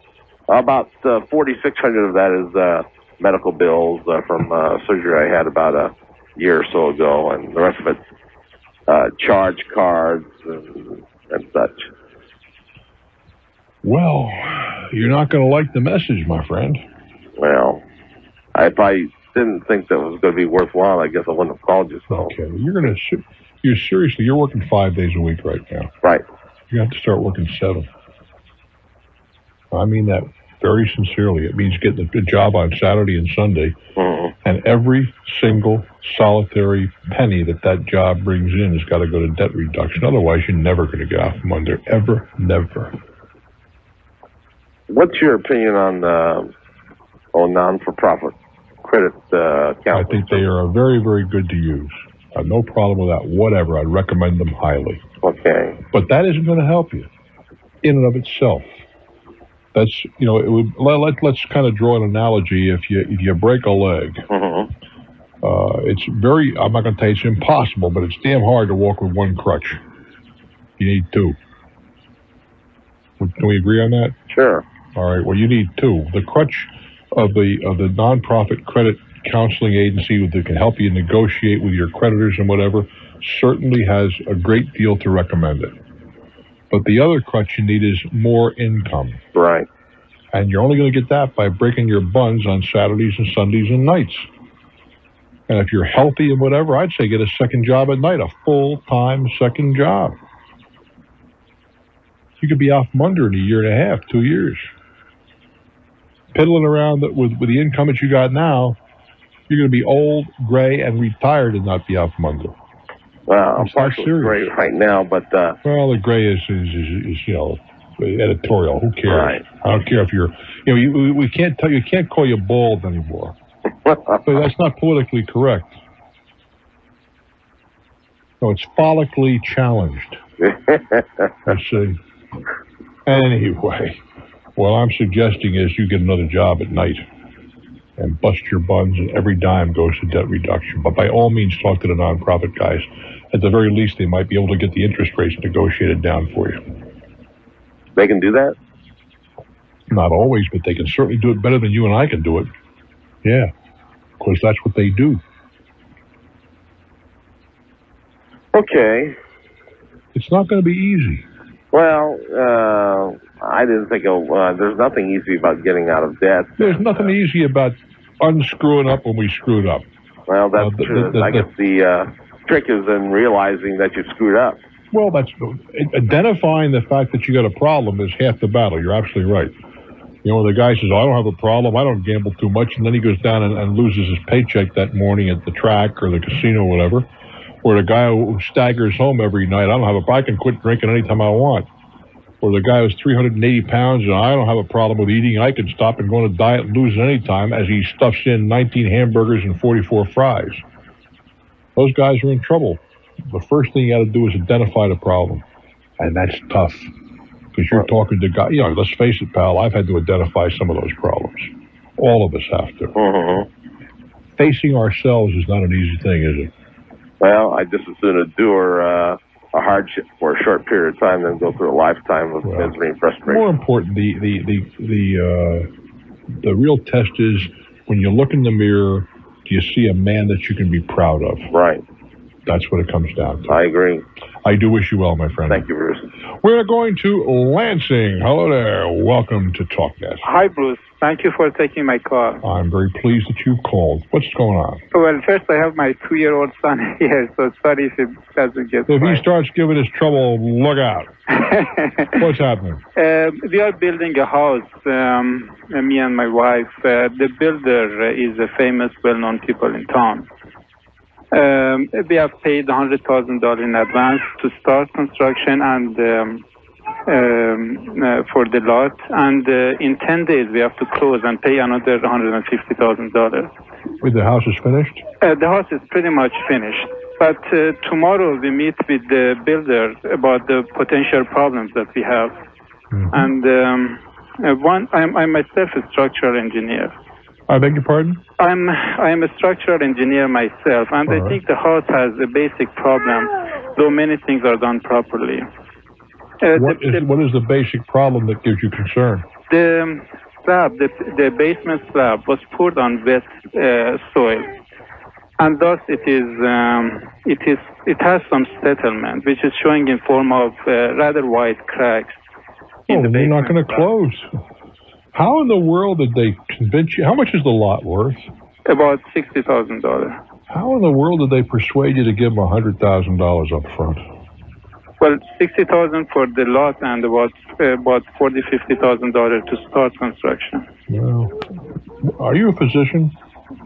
Oh, you said you're a structural engineer. Yeah. Well, But the, I don't know. Are you represented by counsel in this matter? Well, uh, let me maybe I represented the problem not uh, quite properly. The soil was wet. Uh, I understand that. And you poured, they poured concrete on the soil. It has The- it has rained. And the soil, the, now the soil, because it wasn't stable, Yeah, uh, the, the foundation is cracked. exactly. Well, I don't know how if it's cracked to the point where it's it's a tr- it's it's troublesome. It may have to be replaced, and that's a very expensive venture. Exactly. Are you represented by counsel in this matter? Do you have a lawyer? Uh, no, I don't. You got to be kidding me! You're spending a quarter of a million dollars. Let's talk about a one quarter of a million. That's like two and a half hundred thousand, and you're not represented. How come? Um, well, we trusted the, the builder actually because he's, he's I wouldn't well. care if the builder was my brother. My brother, I wouldn't trust him that way. But anyway, the situation is that the cracks are wider than, uh, in uh, according to their warranty, reaching that width, they have to do something about that. The Situation is this. rather vague about that. Let me explain something to you. Here's the situation. Yeah. That you're on the hook on a contract for a quarter of a million big ones, and they got a hundred thousand dollars of your money right now. Yeah. You got a deficient, uh, defective property. Yeah. Which may or may not be repairable. Yeah. Uh, reasonably. Yeah. And you're and you're walking in there with nobody to help you but you. Yeah. That is the shady side of insane. Now, before you go talk to this guy tomorrow, Okay. if you're smart, you're going to go out and hire yourself a lawyer to be right there holding your hand. Okay. I don't know how this. Pro- I mean, you're. What would you say it's going to cost to correct this problem, these these these cracks, and stabilize the basement so it doesn't happen again? You know, it is it, it, it is very difficult to say without testing. Well, but the tests are going to have to be run then, and you're going to have to sit down and talk to someone who uh, specializes in this. And there are companies who do specialize in stabilizing unstable foundations. It is not cheap, and depending upon the soil configuration, a whole bunch of other variables, uh, whether or not in fact it can be accomplished. But in the meantime, in the meantime, you're on the hook for a contract for a ton of money on a contract that you don't want to complete. I'm Bruce Williams. This is TalkNet. Peru. Hello there, Peru, Illinois. Hello, Bruce. How are you tonight? How are we doing? You know, our next call is Athens, Ohio. I said, if he comes up with Rome, Georgia, I'm walking out of here. What's on your mind? Um, I have a question about life insurance. Um, I'm just starting out. Um, I got out of college uh, four years ago now, I guess, three years ago, excuse me. And I've been working. I'm married, and my wife and I are expecting our first child. Oh, congratulations. Thank you very much. Um, my question is, the company that I work for, I have life insurance that is approximately one and a half times my salary. No, but that's temporary. Pardon me? That is temporary. What do you mean by that? Gets fired tomorrow, the insurance goes Oh, the next yeah, day. yeah, exactly. That's what I mean. Right. Okay. but yeah, the company that I work for, I have salary li- uh, life insurance, which is exactly one and a half times my salary. Mm-hmm. Um, which with two people, myself and my wife, that's pretty good, and I wasn't too worried about it. But with a child coming, Oh, wait a while, wait a while. Let's Okay. back up. How much do you earn? I earn between I'm in sales, I earn between twenty five and thirty six thousand a year, Well, depending I on see, how. a fifty thousand dollars worth of life insurance, then, Right. Something like that. That's that's very very little. Okay. Okay.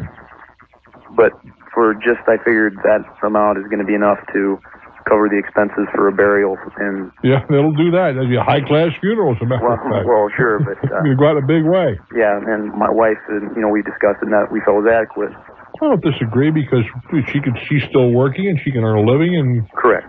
whatever. Right. Okay. With the child on the way, she is going to um, quit her job. We both discussed, and we want her to stay home and raise the child, and we feel very important about that. But with the child here, I also know that I'm going to need to increase the amount of life insurance that I carry. Well, in the event that something were to happen to you, that's true. Correct.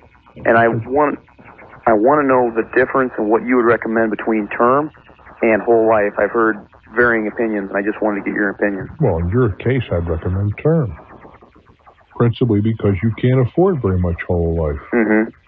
It's a, very practical proposition. I mean, you're, you're doing okay, but you aren't rich for having money. Right. Uh, the the purpose of that you have described to me somewhat obliquely, but nonetheless, you want to take care of things if you're not in the picture. Correct. You're not asking to save money. You're not looking for a retirement program. You're No, not simply at all. okay. And term insurances would, would accomplish the mission. The question is how much. And I would think, uh, do you smoke? No, not at all. Okay. Good health. Yes. You're 20 what? 25. Yeah.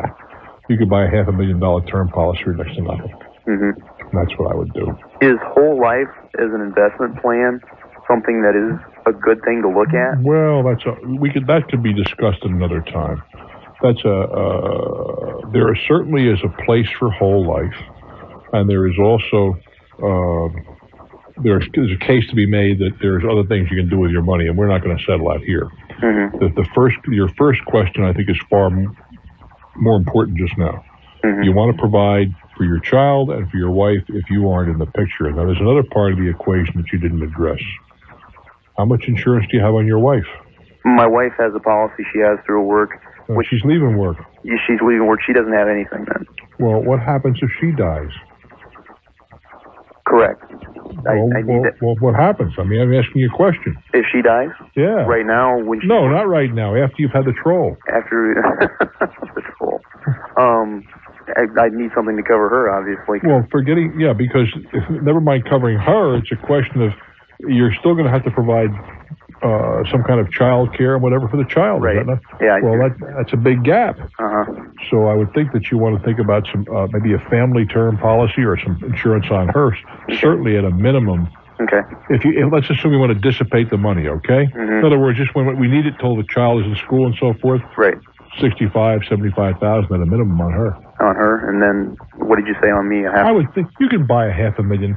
You see, this comes as maybe a surprise to a lot of people, and it's not always true. First of all, oh, I, I should have mentioned this before. All insurance is not created equal. In other words, if you go out and say, I want to buy a, a dollar's worth of life insurance or a dollar's of term, we'll say, for this, to sake of this discussion, right? Mm-hmm. Go to 10 companies, you're not going to see the same quotation. Right. Some will cost more or less. And you want to shop. Right. About and to see what's available and so on and so forth.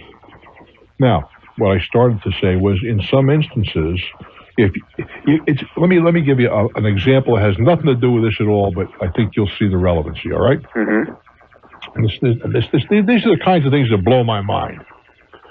I remember asking a girl that worked for me. I said, "Look, I got to get out of here on a pick a day, Wednesday afternoon. See what you got, or maybe a little before noon." Okay, Mr. Williams. Tap tap tap on the computer. Okay, I got you covered. It's going, to you know, the flight's going to cost you nine hundred and thirty-three dollars. You're going here, there, and there, right? Right. I call the airline. I said, That sounds like a lot of money. Well, if you took the ten after twelve flight, it'll only be four hundred and some odd dollars. Whoa, it's nine hundred and something at twenty to twelve, four hundred ten after. I'll take the half hour. Now, what's wrong with that equation? I asked the wrong question, didn't I? Mm-hmm. What did I ask? I asked if there's a flight before noon. Well, it's fat, dumb, and stupid. She asked the right. She went to look before noon. She never looked at ten minutes after twelve. Now, you walk in, you say, I want to buy $425,000 worth of term, right? For the sake of discussion. The guy or the gal may very well quote you a price on that. But if you'd asked how much is a half a million, it might cost less. They may have a package. So you don't ask, you ask, you see what I'm getting to? You got to ask the right question. If you don't, you get, you get the, the, the appropriate answer for your question, but when you ask the wrong question, you get the wrong answer that's appropriate to you. Okay. And that's, that's a, a lesson in life, let me tell you. Do you think that the larger, and I don't want to say any names, national life insurance companies have more pack, or they're going to have more packages to offer, but mm-hmm. financially, are they going to be better? Am I going to be better off with them than a Not regional company? necessarily. Not necessarily. No, not at all. Okay. Uh, I would want a company that is well rated by Standard and Poor's and or Best Guide, B-E-S-T. Right. I do. I do wish you well, guy. Thank you very much. Thank you very much for joining. Good luck with it. I, when I said troll, you got, how about calling it a crumb snatcher? How's that? That's fine. I do wish you well, kid. Congratulations. I'm Bruce Williams. Oh, reminding you, tonight, Danny and I are going to be here between 10 and 11. And tomorrow, an hour before the program from 6 to 7 Eastern, we'll be taking your calls off the air.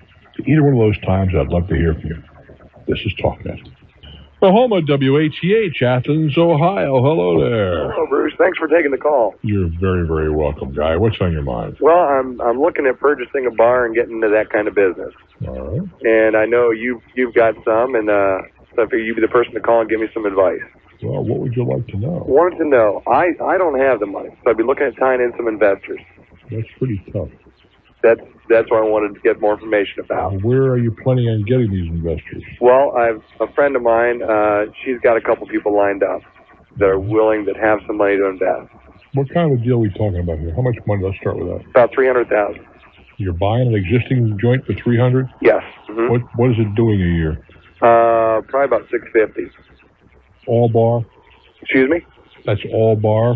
Uh, yeah. No food? Exactly. hmm How about entertainment? Um, no, none. None at all? Just yeah, just a bar. Okay. That's not a bad gross for just a bar. No entertainment, no no dis, no DJ, no nothing. Well, yeah, you have, you have a DJ and a dance floor. Well, wait a while. That's entertainment. That costs. well, going to the bar is entertainment too. Well, no, I'm talking about that may well be the case, but going to the bar, you're going to have to write a check to pay the DJ, and so that's what I asked the question on entertainment. Okay. And you also have to pay a check to ASCAP. Right. The, the BMI. hmm You know that. Yes. Uh-huh. Okay. It's grossing six and a half hundred K. Is there any real estate go with this? What's the business? It's um, the building, uh, the business, all the equipment. Hmm. How big a place? Oh, want to say maybe about uh, four thousand square foot. hmm That's a pretty good gross. Why are they doing so much? It's well, it's, it's one of the only bars that has um, eighteen and older and dance floor. 18? Yes. How can you let 18 year olds into a bar? Well, they're they're ID'd all the time, so only you twenty one older can drink. How do you prevent the 18 year old? I'm serious now. It's, it's they're, they're How do you prevent the 18 year old from, from getting a drink from a 21 year old and he's got a, they both got a Coke in their hand? How do you know which one has the rum in it? well, uh, got about seven bouncers that What are always you know monitoring everything. What was that uh, little bit of noise there? Danny, did you hear that? No, huh? Oh, okay. So, um, yeah, I it's it's something to look out for, but Boy, you bet that part right. uh, when you're dealing with that young a crowd. but I mean that's that's where a lot of your money comes from at, at this particular place. You know, Okay. two dollars a head to get in the door, and Yeah. you know, it adds up. Uh, no question about that. I talked to somebody about a place that does that tonight. I wouldn't have any part of it. Really, No, sir. Uh, even, though you know the potential to make some money is there. Yeah, but the problem is you get your license on the line every time you open the door when you got 18 year olds around, 19 year olds around, 20 year olds around. Uh, you're sitting there, you can put ID bracelets on them and tattoos in their forehead, but how do you stop them from handing a beer to an 18 year old inside the club? Right. How do you prevent that? How do you know when a kid's got a glass in his hand that his buddy hasn't poured a beer into it? Well, I mean, mean, I think just from sight. What's that? I'm just from sight constantly making the oh, rounds. You've gotta be kidding me. No way. There is no way you control that completely.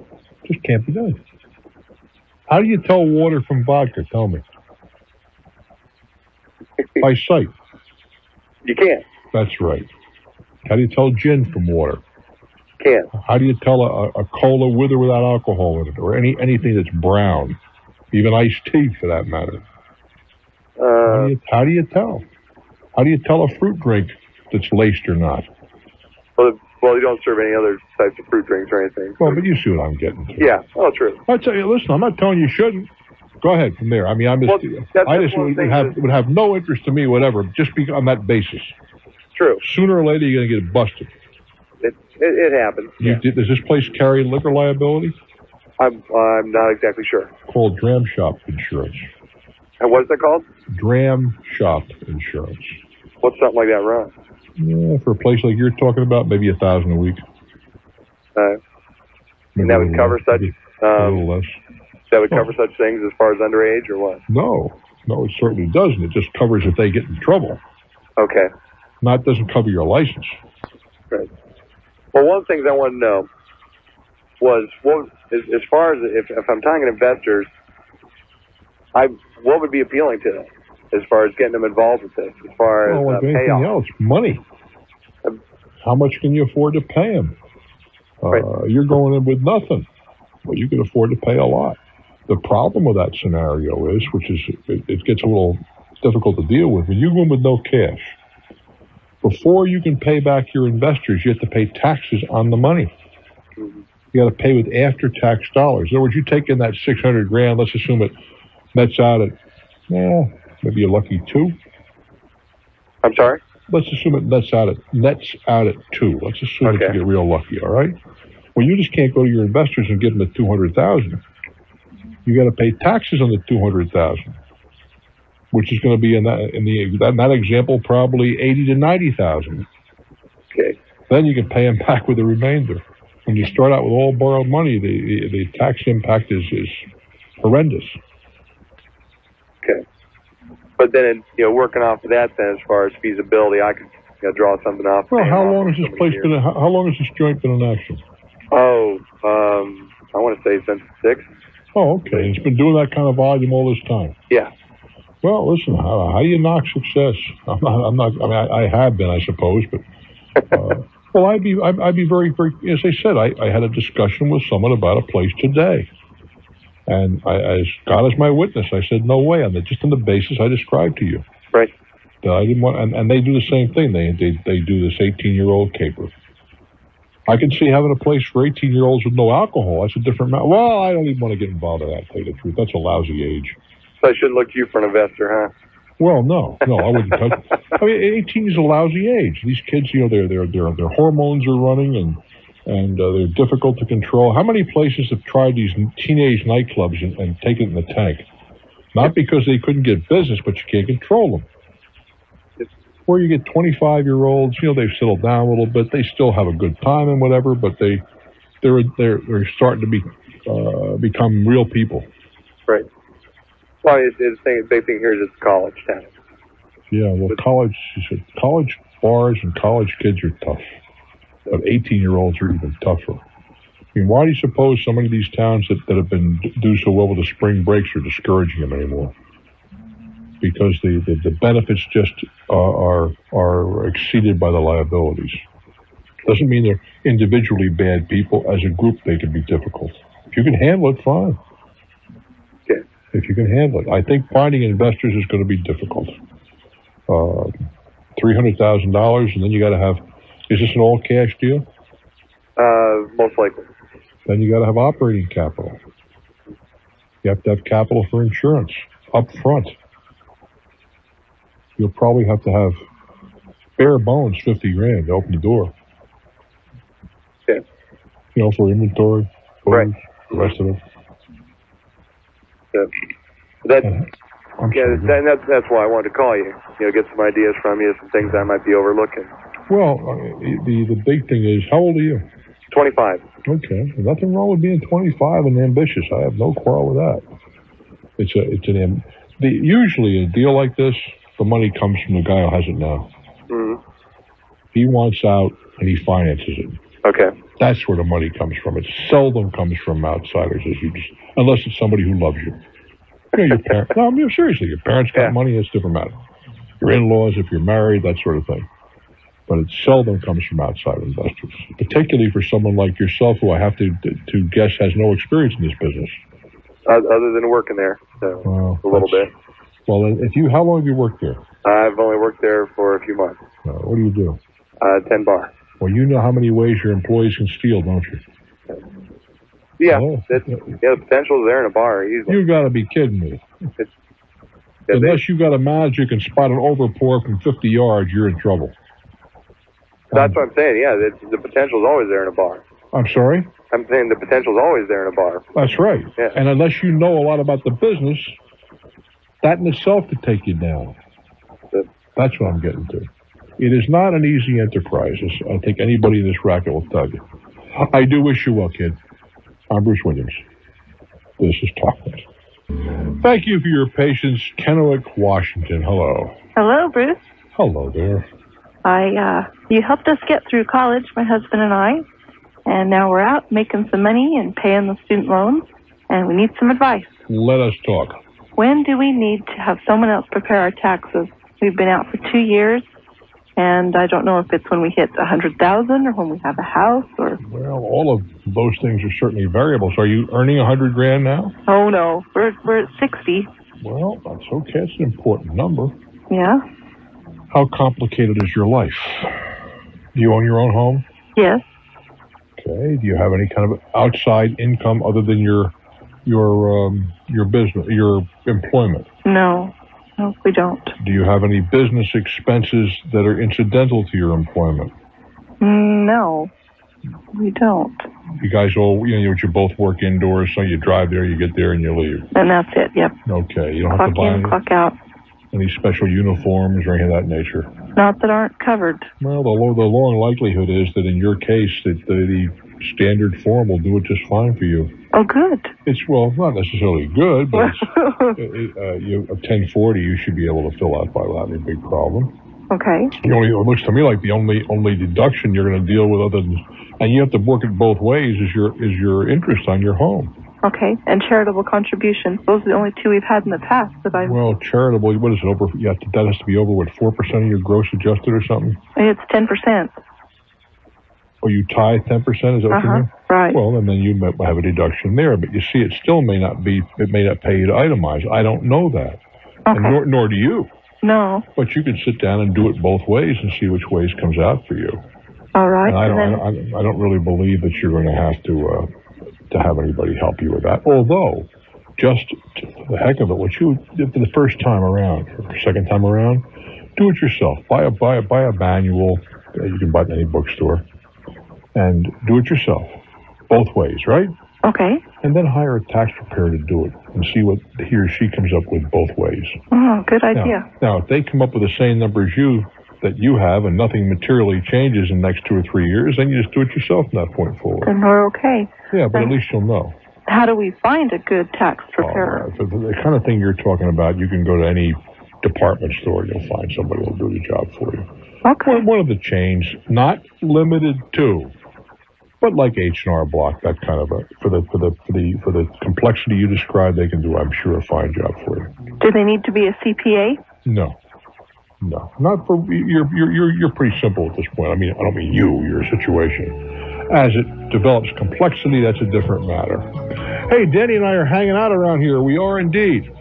We're going to be here for the next hour, but more important, or as important, we're going to be here tomorrow between six and seven Eastern Time, taking your calls off the air. So stick around. Let's do it now or tomorrow between six and seven. It's not easy. We know that. Give it your best shot. Try and do it right. I'm Bruce Williams. Keep in touch find out exactly how it, you know I, how it was put in there under what tax laws, Uh-huh. and you have to you have to take it out of the company, and take it elsewhere. Is that correct? Right. All right, but don't. In most cases, if you put it in your even for five minutes in your hands, you got to pay taxes. Okay. So don't do that. Check with your accountant or an accountant and find out. He'll he'll have to inquire as to how this profit sharing plan was set up. You see Yeah. and then you may want to roll it over. Whatever you're going to roll it over into, it has to be rolled over appropriately, or you get a big tax bite. I might have just saved you eh, about seven, eight thousand dollars. What's your commission? Uh, um, what can I tell you? one more quickie. Um, no, I forgot what it was. Oh, the the the interest now is about two percent higher than when we borrowed on this house. And now we're going to go up there and pay about almost triple in taxes and everything. And uh, here we're at a 20-year mortgage, and I, I don't really want to go more than that. Is it would it be like an unwise thing to say, well, I'll go up there and and I'll get comfortable and get what I can afford on a 30-year, and hey, them interest rates they'll they'll be down again soon, and then I'll refinance. Well, that first of all, you got a bigger crystal ball than I've ever seen. Okay. If you know that interest rates are coming down, I don't know if they're coming down or not. I don't think that they are in the short term. Okay. I don't think anybody thinks they're coming down in the short term. Okay. Uh, but beyond that, you will get a better rate of interest on a shorter term mortgage. Sure. And if you got to press yourself a little bit, I'd press. Yeah. Right. I do wish you well, guy. Thanks a lot. Take good care. I'm Bruce Williams. This is Talk TalkNet. Huntington, Long Island. Hello. Hi, Bruce. A Hello, baby. A couple of days ago, somebody had called. It was a man who owned a store, and he had hired his nephew a year before. And a girl's mother of a girl who had worked in the store found her diary claiming she had sex with the nephew, Yeah, yeah. and she was threatening him with a sexual harassment. No, she wasn't threatening him. She was. They were involved in a, in a sexual. They were su- the, the the family or the girl was suing the uh, alleged miscreant and the owner of the business who knew nothing about this. Okay. Now, you had made a remark that disturbed me a bit. You said that the girl should be discounted because this complaint was being made a year later, and that if the complaint had been made immediately, the boss could do something. But if somebody comes back a year, five years later, whenever, that that should disqualify them. Yeah, I said that. Okay, now the only thing is most people did think that way. In psychology, we found that delayed reporting is one of the greatest signs that any form of sexual abuse did happen. Well, I don't care if it happened. That's not the issue. The issue is how is the the guy who's being sued supposed to do anything about it a year later? Unfortunately, though, that is part of the syndrome. What happens is that when somebody goes through something like this, usually they're embarrassed. That's tough. I don't mean to be unfeeling, but one of the, the basic tenets of Anglo-Saxon law is you can face your accuser, and your it, it should be immediate. Unfortunately, You're, you're, but but but you are den- how how is the employer going to have any defense a year later, two years later, when when people's memories have faded, people have gone away? Well, first of all, they can bring the people together, but usually what happens where there's an allegation of sexual abuse, whether it involves a priest, a counselor, or anybody else, is that once one person comes forward, you find a lot of other people come forward. Frequently, those other people coming forward are liars. Frequently, Yeah, frequently we, had, we had, we, not, we, in my opinion, we had that with a Supreme Court justice here a short time ago. Well, it could have been 50-50. I mean, we really Well, don't know what happened. uh, you're absolutely right, but I would trust the chief uh, testifier against him as far as I could throw a grand piano with you sitting on it. Well, we don't know what happened in that case, but the fact is, when somebody comes forward immediately, let's say they work at a job and within a week they're saying that employer is harassing me, Yeah. they are more often, believe it or not, to be the liar who's doing it to be vindictive or to try to win a lawsuit. Yeah, but let me, forgetting all that, how do you defend yourself when somebody pops up a year or two or three years later? That's what I want. You And get all the people together. How does a doctor who sued for malpractice 15 years after I don't think that's proper either. I've said that many times. I think it's ridiculous, and I and I condemn attorneys who take that kind of work. Well, what would you suggest in cases where the woman, more often than not, is somebody with low self-esteem, who doesn't feel people will support them, and is afraid to come forward. In that case, then, unfortunately, she's going to have to take herself out of it and let it go. But I don't think she. Well, what is? Well, let's go the other route. I've only got a couple of seconds here. Let's go the other route. How long should she be able to not come forward? In other words, I'm an employer. I've employed a lot of people and continue to. What if somebody comes in and says, 10 years ago, uh, your clerk, George, who I don't even remember, did something to Mary Jane, and we're suing you. Now, what in heaven? First of all, do you have any idea what it would cost me just to start to defend myself? Why George should I be be the person to have to defend himself. Yeah, but but in this case, they're not suing. They're suing George, who has empty pockets, and in the case we cited, the employer who has something in his pockets. Well, that is that doesn't seem fair to the employer, but that's a different issue. not. We're talking about delayed reporting. no, that's no, no, issue no. That I have delayed reporting. But the issue was that the is less empl- likely but the empl- the issue was that the employer was being sued, who had no, no no knowledge of this a year later, and I'm saying no. If she brought it up at the time, that's a different matter. And if it's not at the time, is it a week, two weeks, a month, two months, two years, ten years, a lifetime? What? The statute of limitations on that type of crime is usually six years. Six years? Yeah. Well, I, th- I think that's absurd. I think that's patently It's that way absurd. with most crimes. No, that's not. That's though, not. most people will report other types of crimes very quickly. Mhm. Well, I don't. I understand that, and I can understand the embarrassment and all the rest of it. But I, I still believe that you that that that uh, a reasonable period of time, and that's then that's that should be the ball game. I know what you're saying, and I sympathize with the person who's been harassed, be it male or female. We have a new movie now on the other side of that, which is all very well. But uh, how do you defend yourself a year or two or five years later? I mean, the witnesses. All of a sudden, people come popping out of the woodwork. That really bothers me too. And oh yeah, meet the the wannabes and the me too's. But it's just a matter of opinion. I do wish you well. I'm Bruce Williams. This is TalkNet. Spartanburg, South Carolina. Hello there. Hi, Bruce. Thank you for taking my call. You're very welcome. Hey, I have a friend who is starting up a new business and is looking at establishing it as a common law business trust. And he's asked me to be a trustee for this. I'm not sure what a common law business trust is. I apologize. I'm not either. It uh, apparently is a, a form of business business organization uh, which will provide people with protection uh, as far as rights to privacy and different tax uh, advantages. Apparently, I I must put. What is the name of this? it's a common law business trust. Tell you what, I want you to hold on. Maybe somebody can tell us both what it is because I just don't know. Okay. You hang on a minute. Thank you.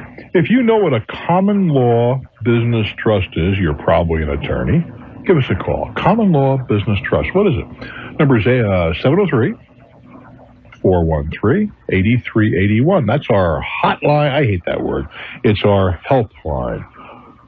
703 413 8381. We'll put this gentleman on hold. And Danny, what else we got here?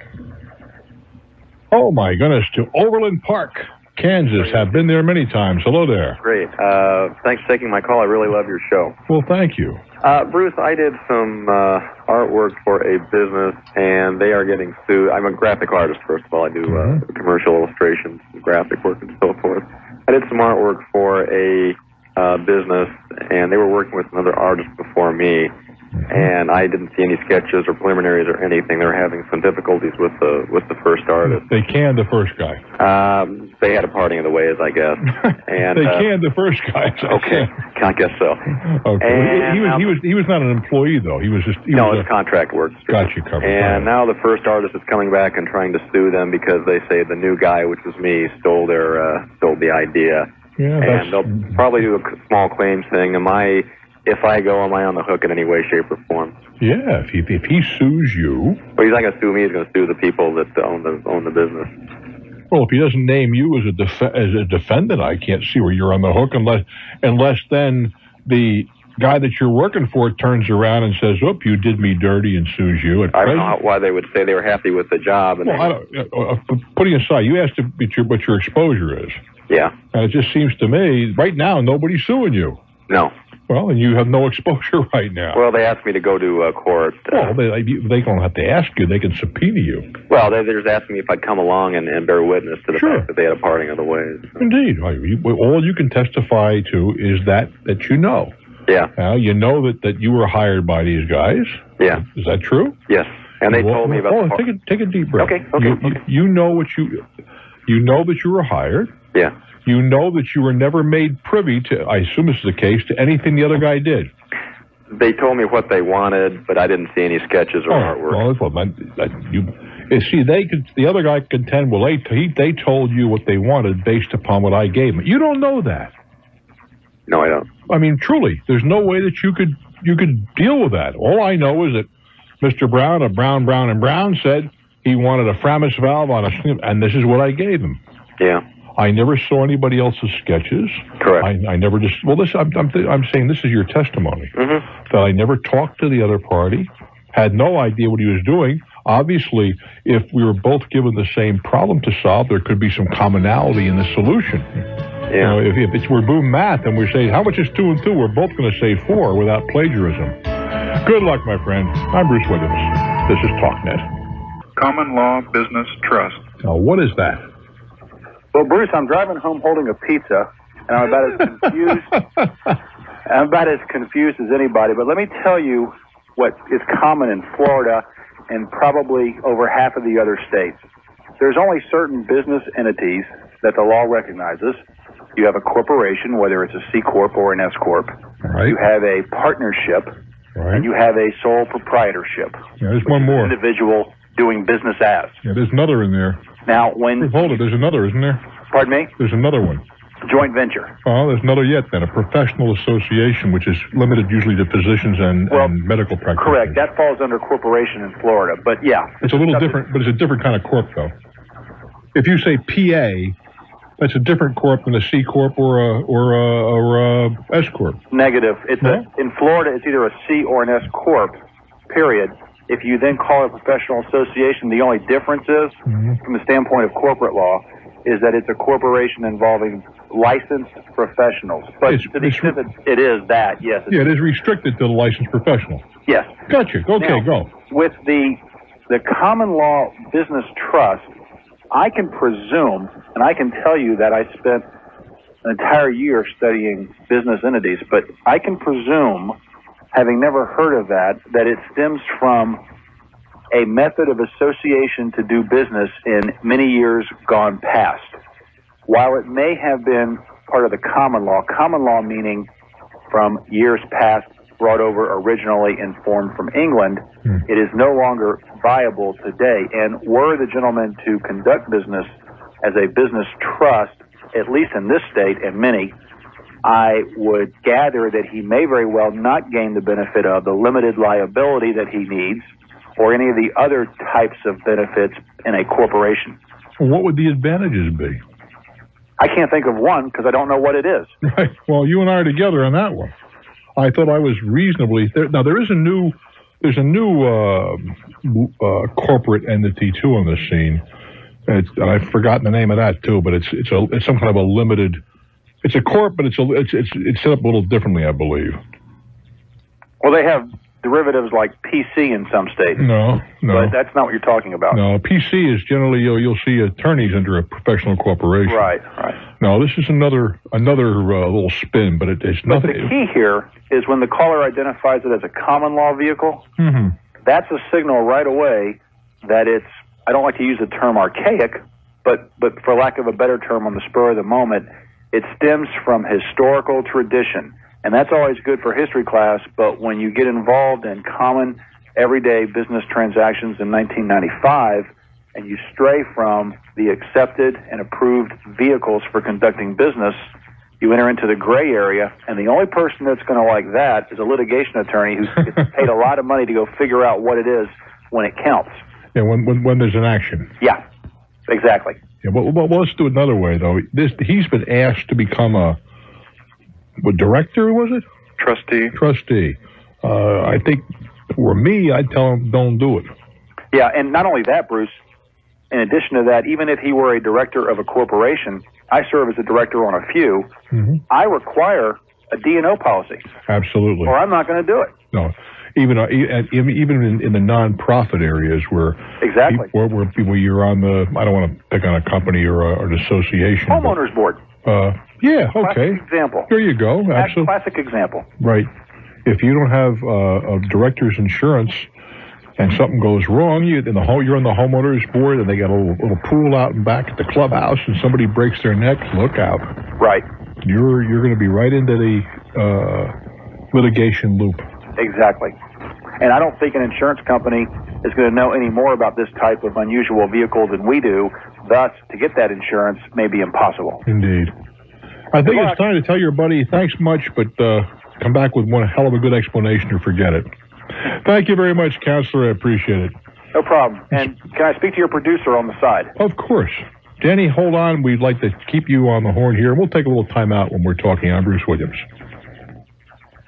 This is TalkNet. We're going out of Traverse City, Michigan. Hello there. Hi, Bruce. Thanks so much for taking my call. Well, I'm very happy you're here, kid. I have a problem. Um, my mother-in-law passed away back in June, and she did not leave a will. There's six heirs. All right, let, let's let's. How do you know that? Um, well, In other words, you- you- what I'm trying to get to, I'm not questioning you that your veracity or anything, but I, I, you're, you're certain that there are six people under the laws of intestacy in that state. Yes. Okay, talk to me. Who, who did your mother-in-law leave behind? um, she left behind five or six children. No husband. No husband. Okay. No dead children. No dead children. All right, six alive children. Okay, go ahead. What did Uh, she? What and what is it that she was? What was her? What did her estate consist of? Poor grammar. Oh, it's just a small estate. Um, a house, uh, trailer, bank account. Just real small thing. Did someone apply to the surrogate court to be named administrator of the estate? Yes, two of the children. All right. The and the other four signed off. Uh, no, there was no signing off. Well, they usually have to. Uh, well, this is such a mixed up deal. It's uh, unreal. Right, why is it mixed up? Uh, everybody is arguing and fighting about this, About what? about the estate and how it's been handled. Well, how? First of all, ordinarily, if you apply to the court to be named an administrator, and when somebody is re- incredibly stupid and doesn't have a will, and that's what it takes, you got to be stupid not to have a will, Mm-hmm. and that's your mother-in-law in this case. Stupid. Uh, then you apply to the, administ- the, the, the surrogates court. If there are direct heirs, as there are in this case, ordinarily the surrogates court will contact them and say, "Do you have any objection to this person be named administrator?" No, that was not done. Okay. Um, one of the primary, well, one of the representatives has the most to gain, which she had a land contract by Hold, hold on. Take it. What do you mean? Who had a land contract? uh, one of the representatives that's representing the state had a land contract With whom? with my mother-in-law. Well, that land contract is part of your mother-in-law's estate. Correct. Well, she said she could not get the house financed for the amount of the land contract. Well, she doesn't have to. Right. So the children agreed to drop it down seven thousand dollars for her. Well, but she could keep the. You understand something? Mm-hmm. If your mother-in-law entered into a contract, that contract is binding on her estate. Yes, This, and- the, this this other one of the kids doesn't have to do anything. She just keep paying the estate. True.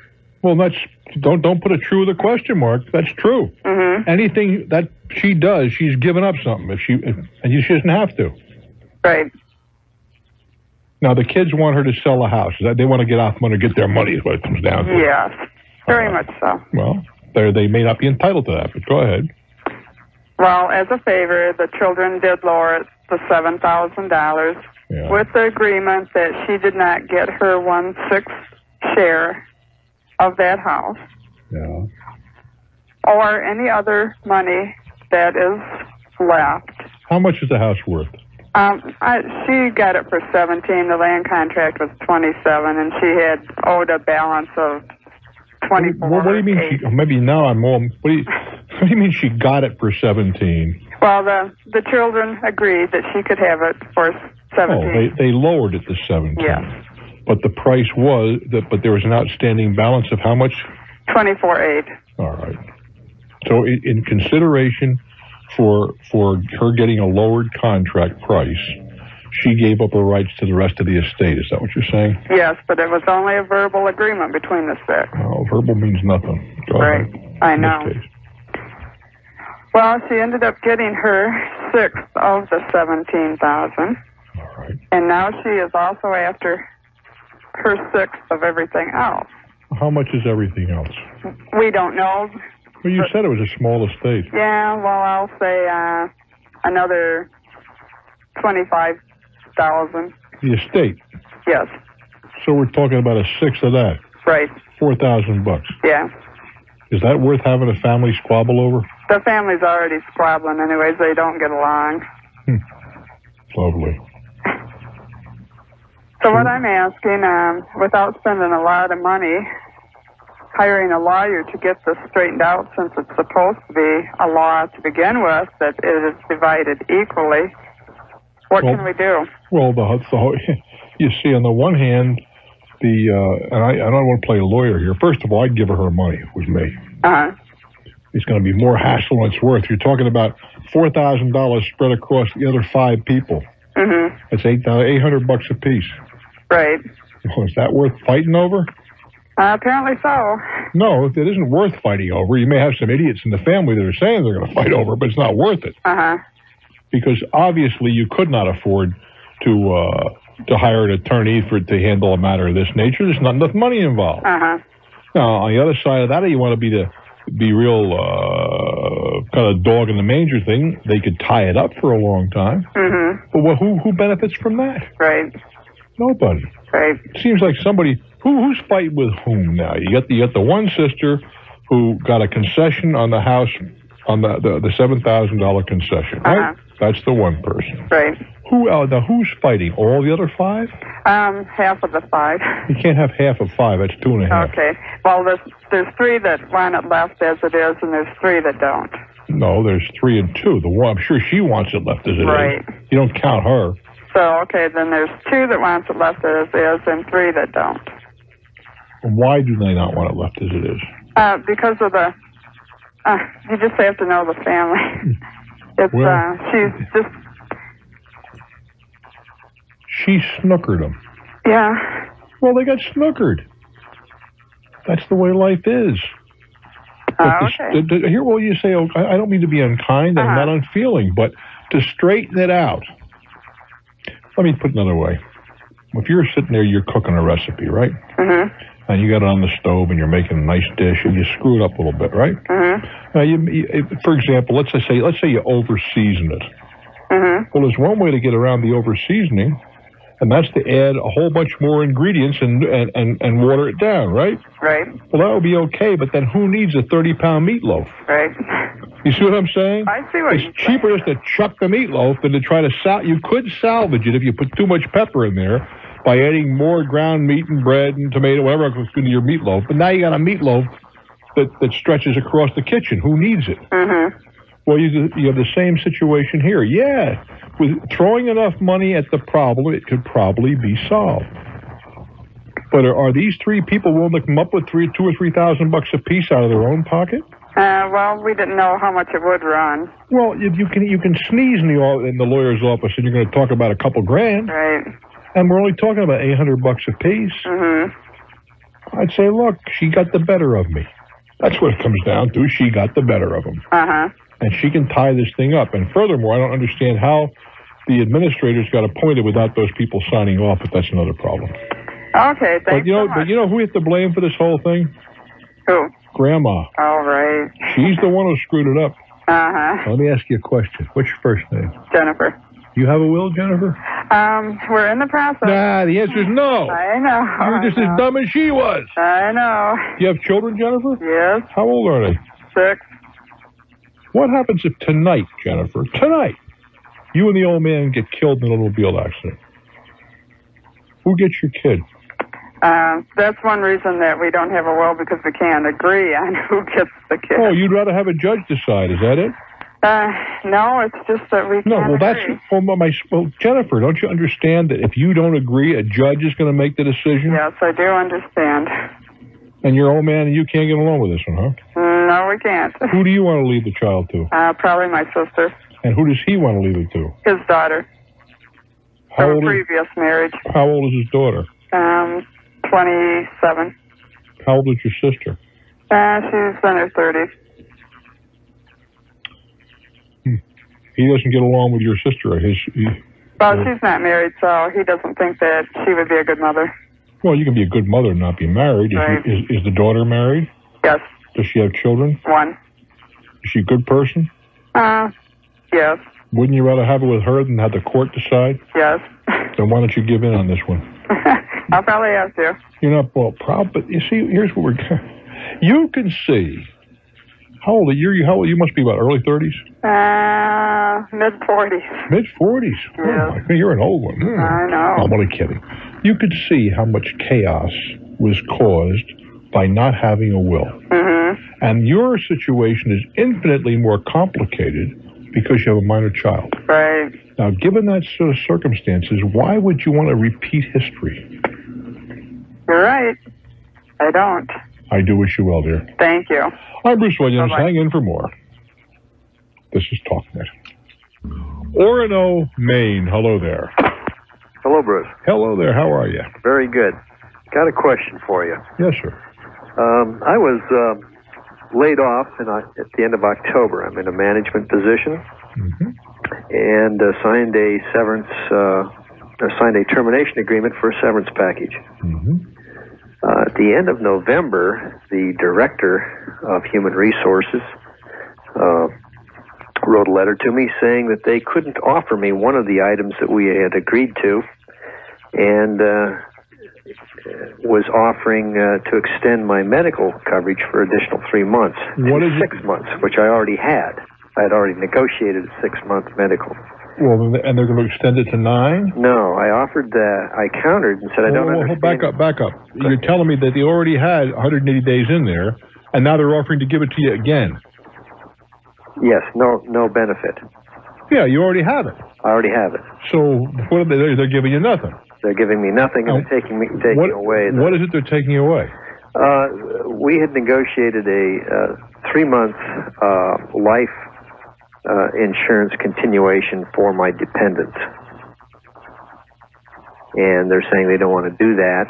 Uh, so, after hearing the director's proposal in ri- reading it, I offered in writing uh, uh, two alternatives. One was to extend the medical from six to nine months. Um, or uh, offer a additional uh, severance payment of two thousand dollars, which was which was calculated uh, uh, by adding the the company's and my monthly premium for that benefit. You're telling me that the, the, the seriously your your your life insurance premiums are eight grand a year Yes, but between the companies and mine. for life insurance? Yes. Well, how much life insurance for pity's sake? And how, and how old are the people? Well, my wife and uh, two dependents. Well, my wife or kid, they, they're kids, right? Uh, one's in college, the other is in high school. All right, they're still kids, relatively speaking. sure. Yeah, well, yeah, the, you know, the law says the kid in college is an adult. Hello. Anyway, how much insurance? How much life insurance? Are we talking about? Yeah, how much face value? How much? Uh, that's a good question. I, I would have to look that up. I do not know It must be an incredible amount of insurance. Well, I don't. Eight grand can eight thousand dollars. How old are you? I'm uh, 45. Last check. Eight thousand eight thousand dollars a year. I'll bet you would buy a million on you. At your age. Yeah. Of whole life. Well, the the uh, the value that was calculated was given to me by the company's um, benefits representative. Maybe. I it just must be one hell of a lot of insurance. Now that's the next question. Okay. Is everybody in good health and so forth? Yes. Uh, is, it- is it really an issue? Ninety days of life insurance, unless unless there's some cash values here. Yeah, that's the cash value that I'm primarily interested Well, in. I hate to give up uh, Well, I understand a benefit without compensation. No, I'm, I'm aware of that, but I'm trying to to it. Yeah, but forgetting that up for the moment, we if you in the well, let's talk about the realities. How much additional cash value would the policies accrue if they met this 90 day, this extra 90 days? Oh, not much. That's exactly. That's why I think you're fighting over nothing. That's what I'm trying to get to. Well, I understand your reluctance to give up. Don't please don't misunderstand me. But I, this doesn't look like I don't, I don't know why they made an issue out of this because it just seems to me, unless there's something I've missed entirely, if there was someone who was, uh, God forbid, at death's door, that would be an entirely different set of conditions. But other things being equal, uh, I just can't imagine that the that we're talking about uh, enough money to get into a real serious quarrel about just the, the additional cash value of three months of insurance. I do wish you well in your new ventures, my friend. I am Bruce Williams. This is TalkNet. Millions of dollars before he won. Yeah. I guess by the time he won that he didn't really get anything. Well, no, he did okay, but he had, but he spent literally millions. There was another fellow that got. It seems to me a pretty. Again, the the, the brightest ideas are, are, are seem obvious after the fact. Right. One of the problems when you build something with reinforcing rod and concrete is that the reinforcing rod weakens because it's ferrous and it gets attacked by water, right? I see. Would you agree to that thesis? Well, I had never heard about it, but I'll agree with it. Well, you know what I'm talking about? Yes, sir. You have reinforcing rod. Yeah, rebars. yeah. Right. Well, some guy said, "Gee, what, why not just coat them with plastic? Then they the water can't get to them. They'll last for eons of time." Uh huh. Well, it cost him. I forgot. I saw the numbers, millions of dollars, because the company says, "Great idea, let's go do it." And they did it. Well, he finally got them, but it took an awful long time. took years and years and tons of money to get them. And then, of course, he got the money back and a lot more. T- Those are the facts, unfortunately. Well, I guess so. So I guess. I don't think there's a hell of a lot you can do. I'd, I'd wait and see what they did. Yeah, I'll wait and see. It might show up on the market. There you go. And then you you could certainly threaten them and see what happens. Yeah. yeah. I do wish you I do wish you well, guy. Hey, I appreciate it ever so much, Bruce. All right, my Have friend. a good evening. It's been a pleasure. Let's go now to Appleton, Wisconsin. Hello there. Hi, Bruce. How you doing tonight? I'm real well, thank you. What's on your mind? Well, I got a question about business mergers. Uh, approximately 10 months ago, I worked for a company, broke off, and went into business for myself. What kind of business? Uh, industrial power transmission, selling bearings, belts, sprockets, pulleys, that kind of stuff. Boy, that's pretty pretty narrow, isn't it? Yeah, but it's. I don't mean that critically. It's just a It, I, somebody's got to sell hairpins, you know. That's right. Uh, anyhow, ten, like I said, ten months ago I broke off and started that. Well, within those ten months, the company I worked for received an offer to be purchased.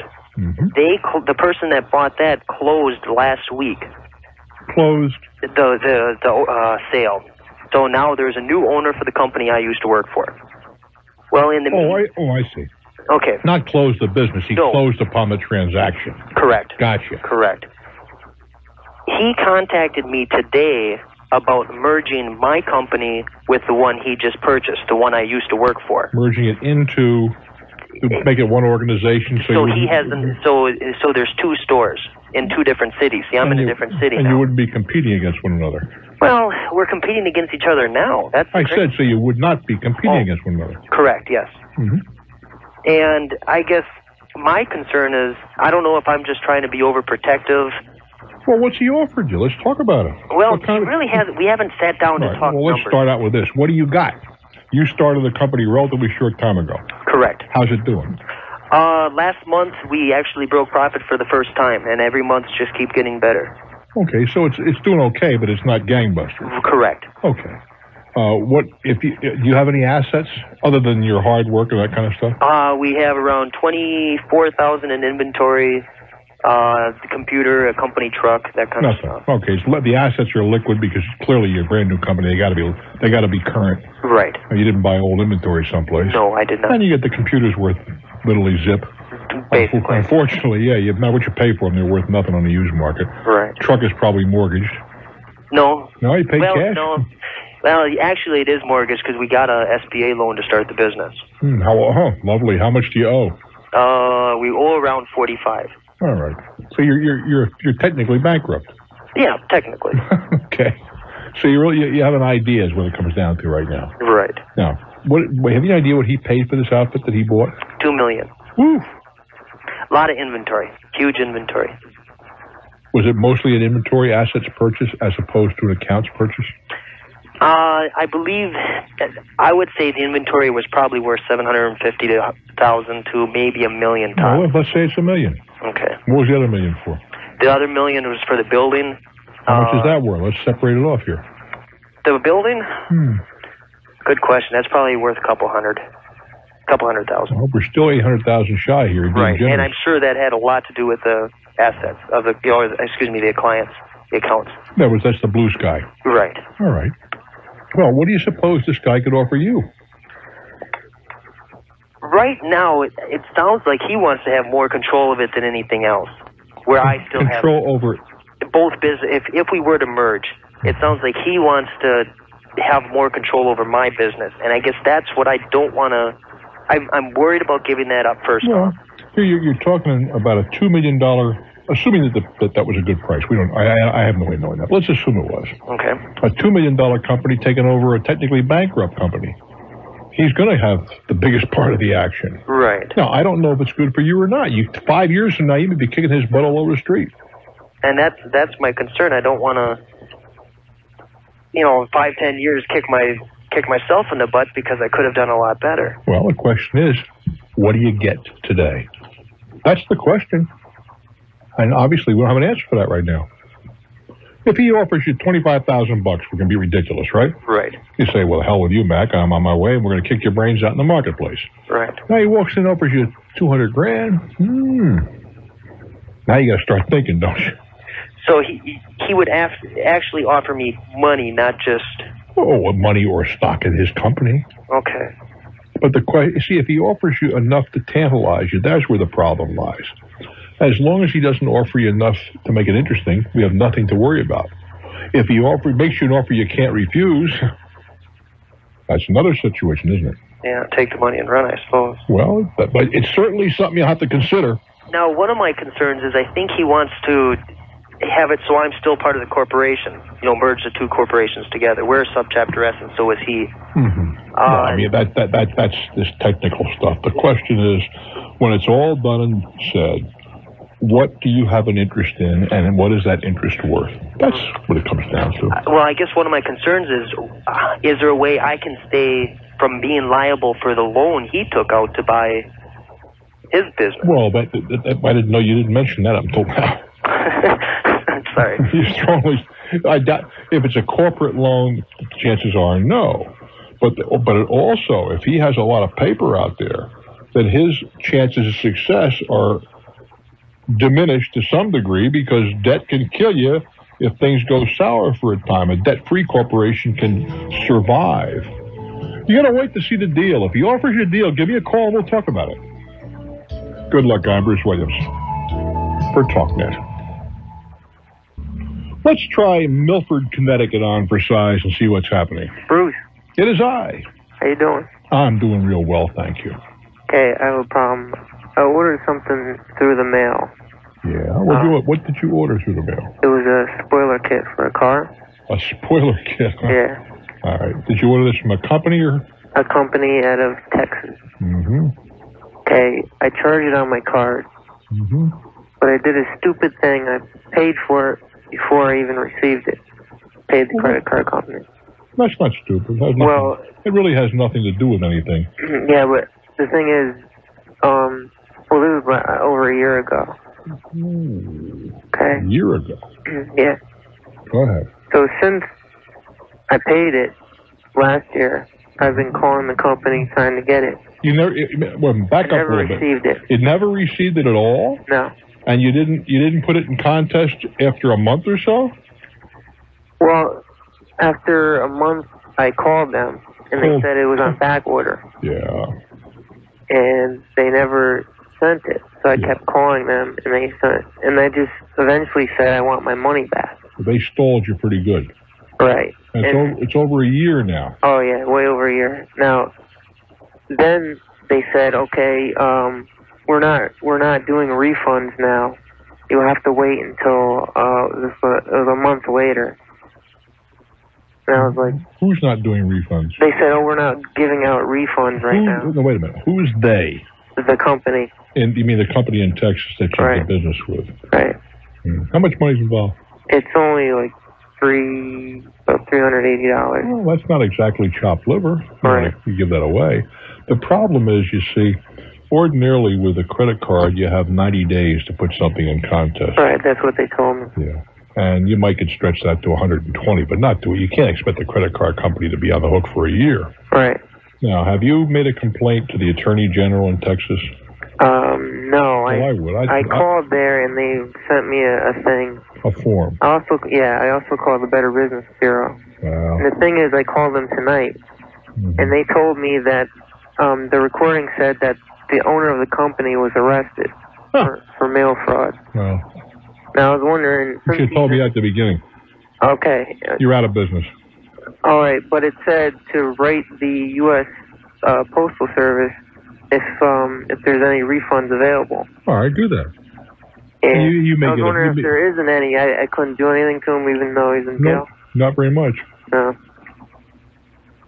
Oh well. There was this guy committed just clear committed fraud. Right. Took orders for stuff, and, and you were too patient, and I can appreciate why you might be patient. hmm But here we go again. You don't do business with companies you're not familiar with, or at least you can't know something about. Right. Now, I buy things through mail. Uh, but matter of fact, I just today called the company because I'd, I'd purchased a, a leather jacket that I, I saw advertised in a newspaper. And I, I liked the jacket so much, I bought one for one of my sons for Christmas. Right. Doesn't fit. I called them. I, but I knew the company. I mean, I- I've heard of this company. They're a major company. And they said, fine, did Mr. Williams send it right back and we'll send you a new one. But I wouldn't just call some, I wouldn't uh, spend a significant amount of money with somebody I've never heard of. Right. Well, it was uh, the the price was uh, good. Well, naturally, that was I the hook. suckered into it. That was the hook. Yeah. How much did that spoiler have cost anyplace else? About five or six hundred dollars. Doesn't that give you a message? Yeah. Oh, I, I learned now. Okay. How I old are ask you? one more question? Sure, Yeah, well, it's, it's an expensive lesson, but on the other side of that, uh, if you remember, it's a cheap lesson. Right, can I ask one more question? Sure. Um, my friend is in the Navy, my best friend, Mm-hmm. and he said he can get a VA mortgage for a house. Mm-hmm. Could you explain that, what that is to me? Yeah, VA mortgage is one that is guaranteed by the Veterans Administration. After you've been uh in the service, I'm not sure what the, the time requirements are. I bought my first house under the VA. It allowed you to go to a bank, and what it comes down to is they would loan you either all of the money or most of the money. In my case, it was all the money. Right. And then the but the Veterans Administration guarantees the loan. If they don't, if you don't pay, they do. So the bank doesn't get stuck. They, and um, certain only certain houses can be approved. Well, there's a limit to the, the amount of the mortgage, and the, and the houses have to be in, in, in meet certain standards in terms of conditions and what condition and whatever. Uh, do we want to get like a two-family house? But you and him, Yeah, and we want to rent out the other side. mm-hmm. well, it's possible. It's possible, but you got to wait till he. How long has he been in the Navy? He's been in. Uh, he's, he'll be getting out this year. It'll be four years. Well, after he gets out, he'll probably be eligible for a VA mortgage. Right, 'cause he was in the Gulf. Mm-hmm. I do wish you well, kid. All right, thanks a lot. Hang in there, guy. I'm Bruce Williams.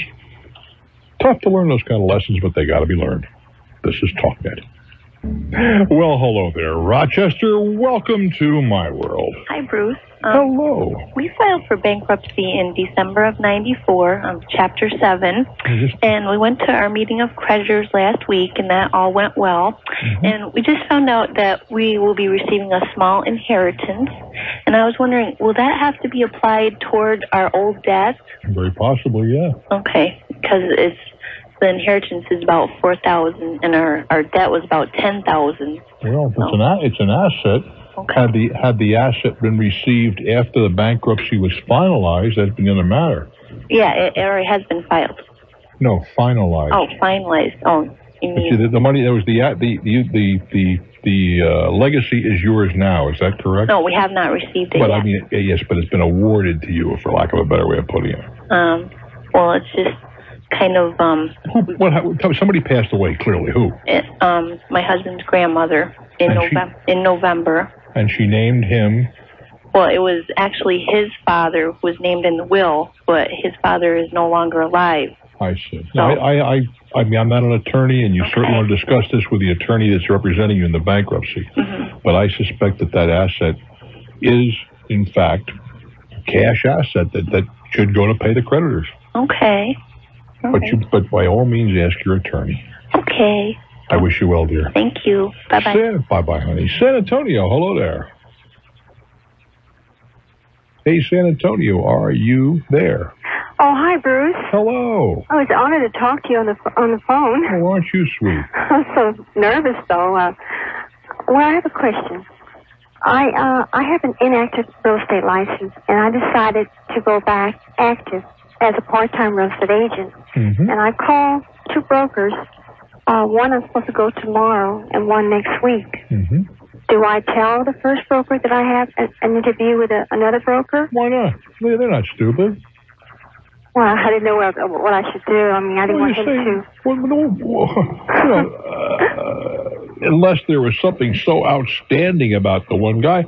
If you're if you're you're going to be talking to two or three employers, first of all, most employers realize that uh, people are going to be for lack of a better term, shopping around.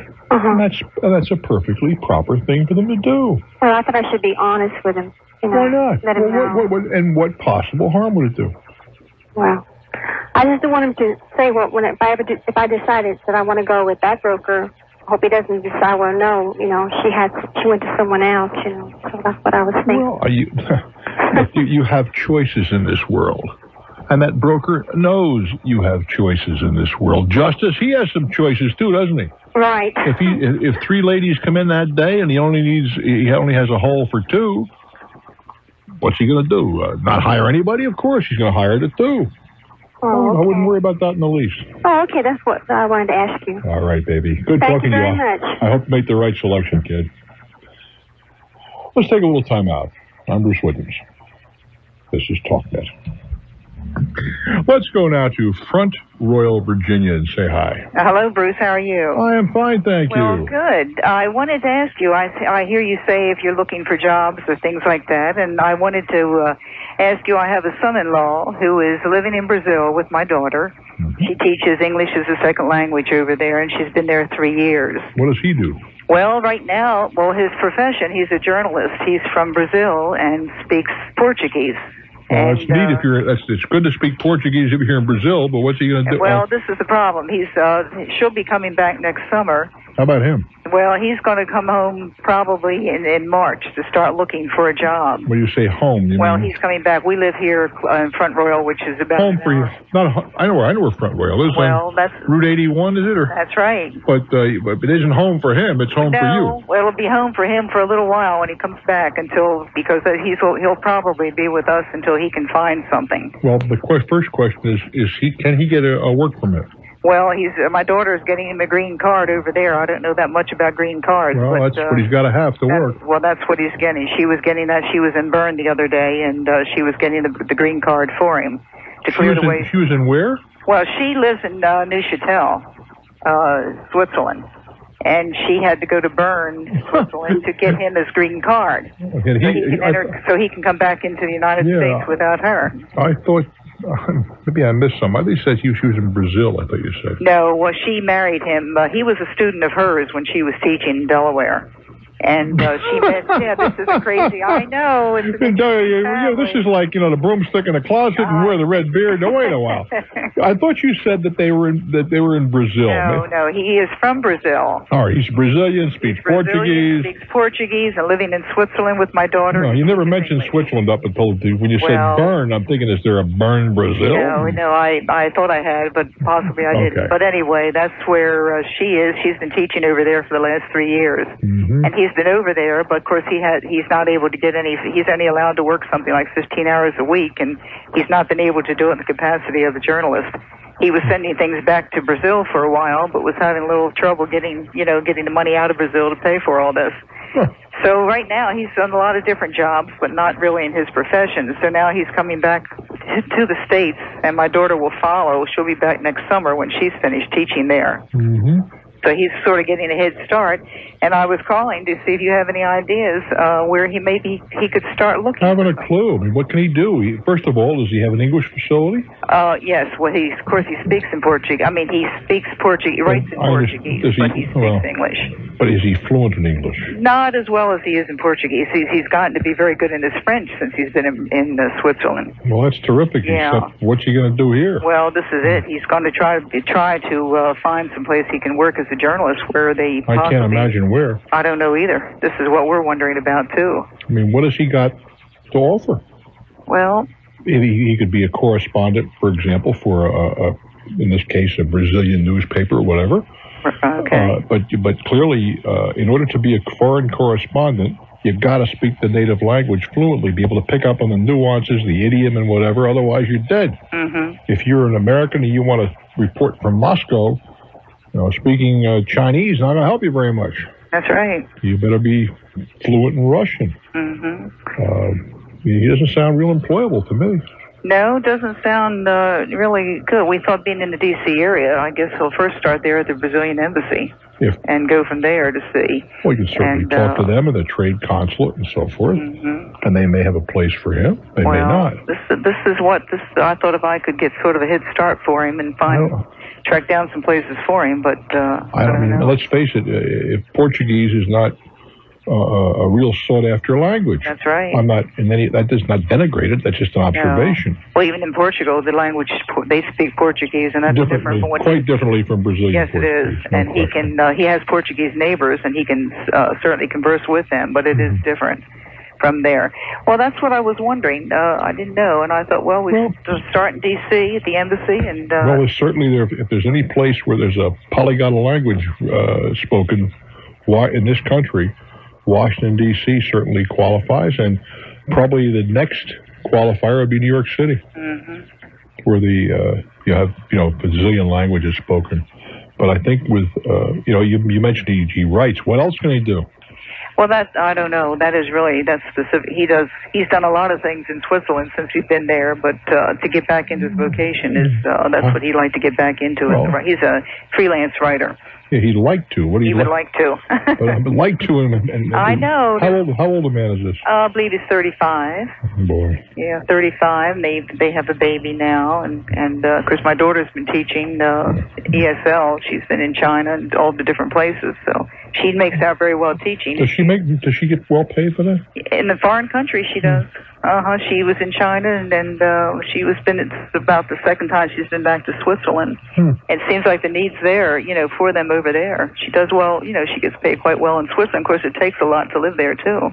I got a feeling maybe he's going to be a super mom. This guy he just might be. might he is be. A, right he, now. he may be a house husband. I, he might be. I mean, I, I just can't think of anything offhand. You know, he may be multi-talented in some other area altogether. Well, he, you know, there's Let's things- hope. Let's hope. Well, listen, I appreciate your input anyway. Take good care. Okay, thank you. Bye bye. You're welcome. Coming to a foreign country, which is what this is, without skills, uh, well, a lot of people do that, but uh, what they make up for, and there's certainly several ethnic groups that we could point to, what they make up for the lack of language skill, they make up for by putting in 80 hours a day. It's pretty hard to hate people that do that. Syracuse, hello there. Hello, Bruce. Hi. How you doing? Uh, first time caller. Uh, very excited to talk to you. I've been listening to you for a while, and uh, I know that you give a lot of great advice, and that's why I'm here with you tonight. Well, let's try, my friend. What's up? Um, just turned 27 a couple of days ago. 27 years old. Happy birthday, I guess. Thank you, sir. And uh, I'm interested in real estate, getting into uh, buying a piece of real estate, and uh, just wanted to get uh, some feedback from you. I'm looking at a, a duplex, and I'm wondering, you know, uh, what things should I be looking out for? Well, first of all, what are you using for money? Uh, I have about ten thousand dollars uh, that I'm going to be using for the down payment and closing costs. You, married, single, what? I'm single. Okay. How much do you earn? I earn about thirty-five, forty thousand dollars. And how long have you been doing that? How we're trying to look. I'm looking at your employment history for a I've, mortgage. I've been uh, employed uh, in the insurance business for about five years. Same company? Uh, actually, two different companies. All right, that's not bad. Okay. Um, Uh, you want to buy a duplex to live in it and and uh, well, currently? I'm, I'm living at home right now. I'm, I'm can't beat those rates. yeah, exactly. So I'm wondering, uh, would it be worth it for me to make it as an investment? I've heard on your show before that you really shouldn't look at real estate as an investment. Let me ask you a question. That's not. No, I never said that. Are you sure? Yes, absolutely. What I said is you shouldn't look at your home as an investment. Oh. Quite a difference. Real estate can be a very clear investment. Great. But the uh, I was about to say to you, do you ever have a good apple pie? Yes, sir. Do you ever have a lousy apple pie? Yes, sir. Okay, the same thing is true with any business venture, and real estate is no different. There are good deals and there are bad deals. And understand something when you start buying real estate, it is a job. It doesn't maintain itself. It doesn't handle itself. Either you pay somebody, and more often than not, if you pay somebody, you can't. It's just there's not enough in it. Not enough vig there. Yes. If you got to pay a manager fifteen percent, there's. I'm not going to tell you there aren't places where that still is profitable because that would be totally erroneous. But on balance, those deals are few and far between for the small guy. I see. Which means you got to manage your business now. You, we just start talking about what will you buy and what can you buy and what can you expect. Now, multiple housing is the hands down winner over single family housing. when it comes to investing. I see. Why is that? Because it costs less per door to build a two or three family home than it does to build a single family home. Exactly. And seldom do single family homes rent. Not always, I've heard lots of exceptions, but more often than not, single family homes will not rent for enough to justify the price. I uh, my background comes from a, a finance background, um, and I'm thinking, should I just? And I've I've done pretty well investing to to get to this point for the down payment. I'm wondering, should I just take the ten thousand dollars and and continue what I'm doing? Well, look, I, I, nobody can answer that but you. Okay. You know, it, you, you have to look for your comfort level, what you enjoy doing, how you want to spend your time, how you want to risk your capital. Uh, there is a, a ton of money to be made in the market. There's a ton of money to be made in real estate. And there's a ton of money. You, you know how you make a large fortune or a small fortune? Uh, well, Start, start with a large one. okay, yeah, exactly. if you make mistakes. But I, I, you see, you're asking me, should I go into real estate or should I go into finance or who knows, rare coins, whatever. I, and nobody can answer that question. Have people been successful in all the above and more? Certainly. Have people lost their hat and you know what in all the above? Without question. And understand, if there was no risk, everybody would be doing it. To be 25 and getting into the risk business, I'm here to tell you something. I'd kill to be in your position. Kill. Well, thank you very much, sir. Good luck, my friend. Thank you. Jim Harmon is twisting the dials tonight, making all these things happen. Walter Hassett in master control. Randy Meyer is our operations manager, and of course, the redoubtable Dan Rudd, our producer. Good guys to work with, and you guys have been super. We'll do it again real soon. I'm Bruce Williams. This is TalkNet. The telephone number 800 743 8000. 800 743 8000 from anywhere in, on, or around North America. Very glad you're here. We're kicking off a weekend. A lot of parts of the country, the weather's a little bit severe. Other parts, it is record highs. My goodness gracious. All we know is the weather is screwball. Screwball. San Antonio, welcome to my world. Good evening, Bruce. Hi. Hi, I'm a first time caller, so I'm a little nervous. Well, we'll do our best to kind of put you at your ease. Okay. Um, I need your opinion. My husband has got bad credit from a divorce and some mistakes that he's made in the past. And he was given the name and phone number of an attorney who says he can fix his credit bureau report. I don't believe it. Okay, that's what I thought. There are some things that can be taken out of credit reports. First of all, anything that's not not uh, true can be removed with some difficulty, but it can be done. Let's start with that. There are also truthful things can be removed with with using machinations, which I don't endorse. Uh-huh. But if anybody tells you they can clean up your credit completely, if it's really stinko, and apparently your husband's is, uh-huh. they're they're whistling in the dark, and you say, okay, I think maybe we'll we'll deal with you, but we're going to pay you after the fact. See how fast do they run? How, how much money does this guy want? Five hundred dollars. Middletown, Maryland. Hello there. Good evening, Bruce. How you doing, guy? Uh, appreciate your taking my call. Well, I'm glad you're here. What's up? I've got a uh, question uh, concerning joint ownership, and I'm talking about husband and wife. Joint ownership of what? And I'm just looking at the major things like joint ownership of a car and a home. I hear conflicting advice about whether to put things in individual names. Well, let's, let's break it down. A, a house, by and large, you don't have any choice. Unless you're rather wealthy, most people have a mortgage. Okay. And a mortgage company is going to require both names on it, so to get the in order to get the paper. Okay. So it's it's almost academic. Now the way it is titled is another matter. That's not academic.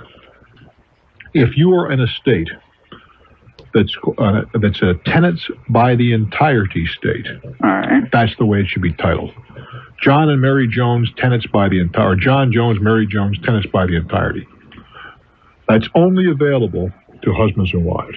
Okay. And what that means is that you both own the house. You each own all of the house together, which sounds like kind of a conflict, doesn't it? Right. But that's what it's meant. It means you each own the entire house, and if one of you dies, the other one has the whole house. Okay. Or goes away in some fashion. Okay, that That's, that's, that's the house. Now, the car is another matter. Uh, I don't see any reason to have a car in both names. I don't see any advantage. I can well, see some, like disadvantages, I don't see any advantage. Okay, that's what I'm wondering because if there's no okay, let me do this then. If if you do a single owner, if I own my car single and I die, can my wife, by the fact that she's my wife, automatically have the car? Or What's, what is wrong with a will? Okay, is that the answer? Then you put it in the will. Sure. And you have a will that covers it. Well, you, you don't have to cover the car specifically. Right. You, you, well, let me ask you this: uh, Do you have children? Right. Do you have a will? And we have a will. You do have one now. Yes. Okay. Because you realize if if you didn't have a will, your wife would not get all of the stuff in your marriage. Right. That's I understand that. Two thirds would go to your children in most states. Right. But if you said your all of your residual estate, meaning that after you know your bills been paid and all that kind of good stuff, the, the car would be part of that. Okay. So so that that clears it then. Uh, No, no. Let, let, let, let me let me say this too. All right. If you are very wealthy, there could be uh some additional tax by doing it that way. Okay. So if you But that's not enough to worry about. Yeah, and I'm not the very wealthy, so the joint ownership is no particular advantage. I see no advantage whatever. I can't think of any. Okay. That clears it up. I do wish you well. Thank you. Oh, let me see. From Middletown, Maryland, we go to Sioux Falls, South Dakota. Hello there. Hello, Bruce. Yeah. Bruce, I have a question for you about uh, traveling to Europe. It's not a bad idea. Yeah, well, I have an opportunity. It's business related. Uh, I have an opportunity for a uh, six to twelve month assignment uh, in Europe uh, in one of four locations: What are the four locations? uh, London, uh, Brussels, Madrid, and Frankfurt. Wow. Uh, it'd be, like I say, about six to twelve months. It would be. Let me think about this now. London, I don't know much about Brussels. Madrid, clearly you're, I- I- maybe I say clearly, I suppose you could explore this. It would be cheaper to live in Madrid than any of the other places you mentioned. Uh, I haven't really explored costs that much, as a matter of fact. Uh, Is there is there a differential built in?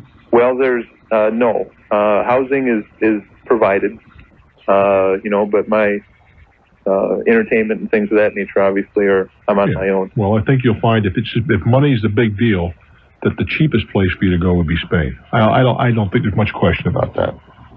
And the most expensive would be London. Okay, uh, I've been to I've only been over once, and that was in Brussels for a week. Okay. Now, okay, how did you like Brussels? Uh, I liked it very much. All right. Now the other the next question is language. Obviously, only one of those places speaks English. Right. Is, is that is that a factor for you? Uh, that's the only language I speak. Yes. What I'm getting to is that would that be a factor though? Might not be. I, I mean, I I don't have a Now, you mentioned you have no language facility other than English. We share that. But the point is, is that a problem? It was not when I was in Brussels. Well, you're only there for a week. Right. Well, let me, maybe I'm asking the question poorly. Let's, from a business perspective, is that a difficulty? Is that a handicap in any way? In the business, it would not be. No. While I'm at work, it is would not uh, limit me. Now, do you have a decent language facility, or do you know? George, can you? I have a hell of a time learning language. My daughter picks it up like she was a sponge. Yeah, no, I I took uh, you know Spanish when I was in high school and such, and didn't have any problems uh, picking it up. Uh, I don't think I'd have a problem uh, picking up language if these uh, tapes that you hear advertised are are worthwhile. Uh, you know, if a person, Well, I tried them. I didn't get very far. yeah, but that's another matter.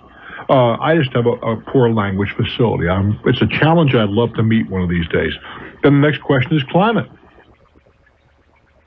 well, I'm I'm from the north, so uh, I guess it would be nice to be uh, in in warmer climate for a while. That's only going to, only one place that you mentioned is very warm. That's Madrid. That's correct. Yeah. Uh, I guess another thing I was thinking about is um, central, you know, central location or something of that nature. I mean, it's not Europe's not huge by any stretch of imagination, but uh, um, you know, taking weekend jaunts to you know Paris or other places. Um, like I said, I've never, I've only been there for the week before, and this is six months to a year. It'd be a good opportunity, I'm thinking, to uh, in the off days to uh, Well- see some other places. I don't have a map in front of me. What the most central, I guess? Doop, doop, doop. Be London, I guess, wouldn't it? Well, that'd be the that'd be the furthest west. I mean, if I'm Well, I guess I thought Brussels would probably be more central. I guess maybe it would. I I I'm, I don't have a map in front of me. Forgive my poor geography. Yeah. I'm not sure that that would be a major factor where I'm sitting. Well, here's another thing that uh, if we can bring into play, um, and uh, this isn't clarified, but uh, uh, I'm interested in doing this with uh, my family, uh, and uh, that does include uh, two children. How old? Uh, six and two. Well, the two-year-old is not a factor at all. Mhm. Would you th- agree? Right. Two-year-old doesn't know where they they don't know where they are. Right. And my wife wouldn't be working, you know, during her stay there. All right. Um, my uh, six-year-old would be going into first grade this fall. All right. Good experience for her. Him. Him. All right. I would, my inclination would be to send them to an indigenous school, hmm not to a to a uh, an American school. Uh huh. And they will pick up a language in a hurry. Little kids pick up language very quickly. That was that was my thoughts too. Whether it's six months or not, I don't know. Yeah. Well, and But but again, I I think that's a secondary consideration. Maybe I'm mistaken. well, and I guess that's one of the main reasons. There's I guess there's lots of pros I see as far as uh, taking advantage of the opportunity, which is what I'm seeing it as is a big opportunity. Can you think of anything that, that mitigates against it or militates against it?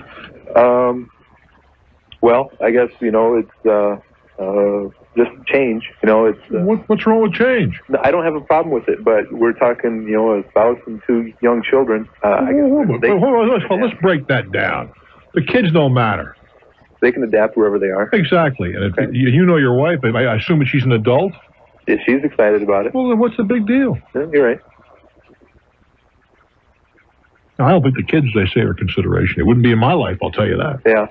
And I don't mean I don't love them or anything. Hey, but hey, guys, we're going somewhere. You ever hear kids say no? no. And if they did, does it matter? That's Not to me, it would. That's true. I, I mean, I, as far as the, I know, I know what my choice would be were me, but that's another story. That that'd be Madrid. Huh? You got it. All right. Hands down.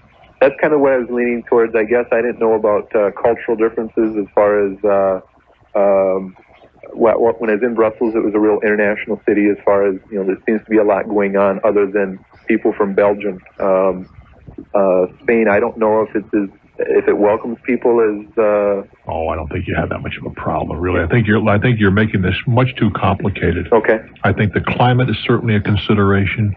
Cost of living, since you're taking your children and family, you won't get paid any more money, has to be a consideration unless you're getting paid an ocean of money. No.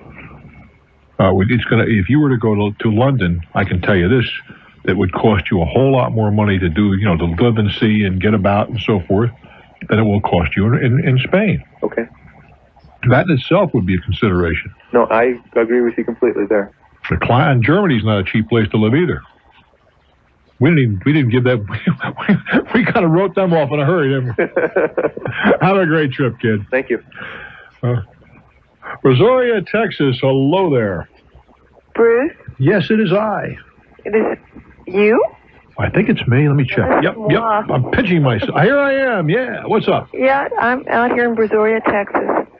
I'm an artist, painter. Oh, fine artist. Okay. Yeah, fine artist. And um, a little problem with this um, dealing with putting paintings in the gallery on consignment. Outside and of actually, Texas. this is the first night I've I heard your show. My goodness. I'm kind of getting into this talk radio, and I'm just getting into it. How old are you? I am. I'm not going to tell you. Well, no. This is. I'm asking that for a reason. Okay, well, I'm 48. Oh my goodness! One foot in the grave, the other foot in the. That's fine because you know talk radio is growing by leaps and bounds. Well, it is, and I had to go to Louisiana a couple of times to see my cousin who's working on my teeth, and um, and I got tired of listening to music for some reason, and I turned it on the AM, and I started listening to you and Rush and everybody else, and Well, I'm glad you found us. it was great. We we think so, but then we're highly prejudiced about this whole yeah, of course enterprise. you are. But this is the first night I listened to you, and you're talking about other other things than political. Yeah, we don't. We leave that to the other guys. Yeah, I talked to your well assistant about some things, but uh, About some things. Were you were you were you hitting on Dan? yeah. Were you really? Well, I just I I was it was political, and I said, how come you know, it's one nation under God, and God only charges ten percent. But I know you don't. no, we don't deal with that sort of thing. And you've talked me right into a corner. So I want you to hold on a minute while we make a little money and we'll get right back together. Fair enough? Take a deep breath. I'm Bruce Williams. This is TalkNet.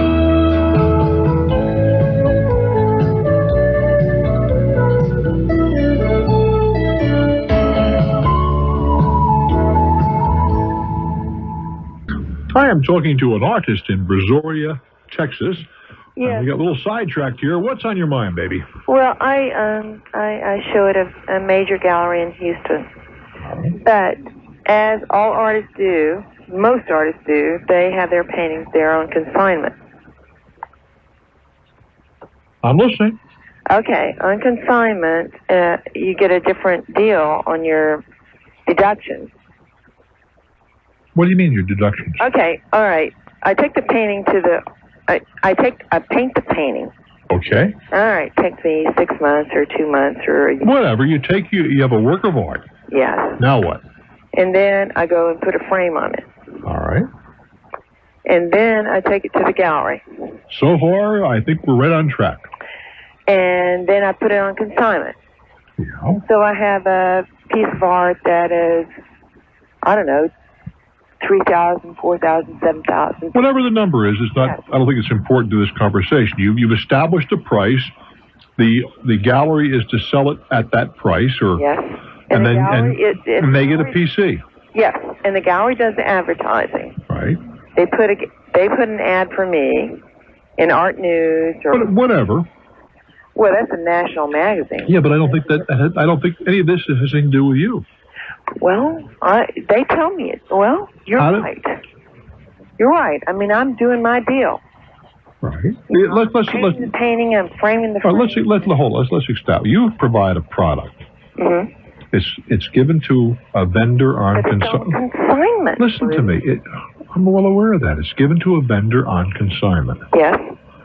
If he sells it, he is entitled to a commission, whatever you have agreed upon in advance. Exactly. If he doesn't sell it after a certain period of time, he has a right to return it to you, That's right. and that's the end of it. Unless you've agreed to absorb some of his expenses in the event of a non-sale. Uh, I don't do that. All right, then that's the end of the deal. Yeah, you, what? That that. But but On the but, other but what? end, in my studio, I'm painting the painting.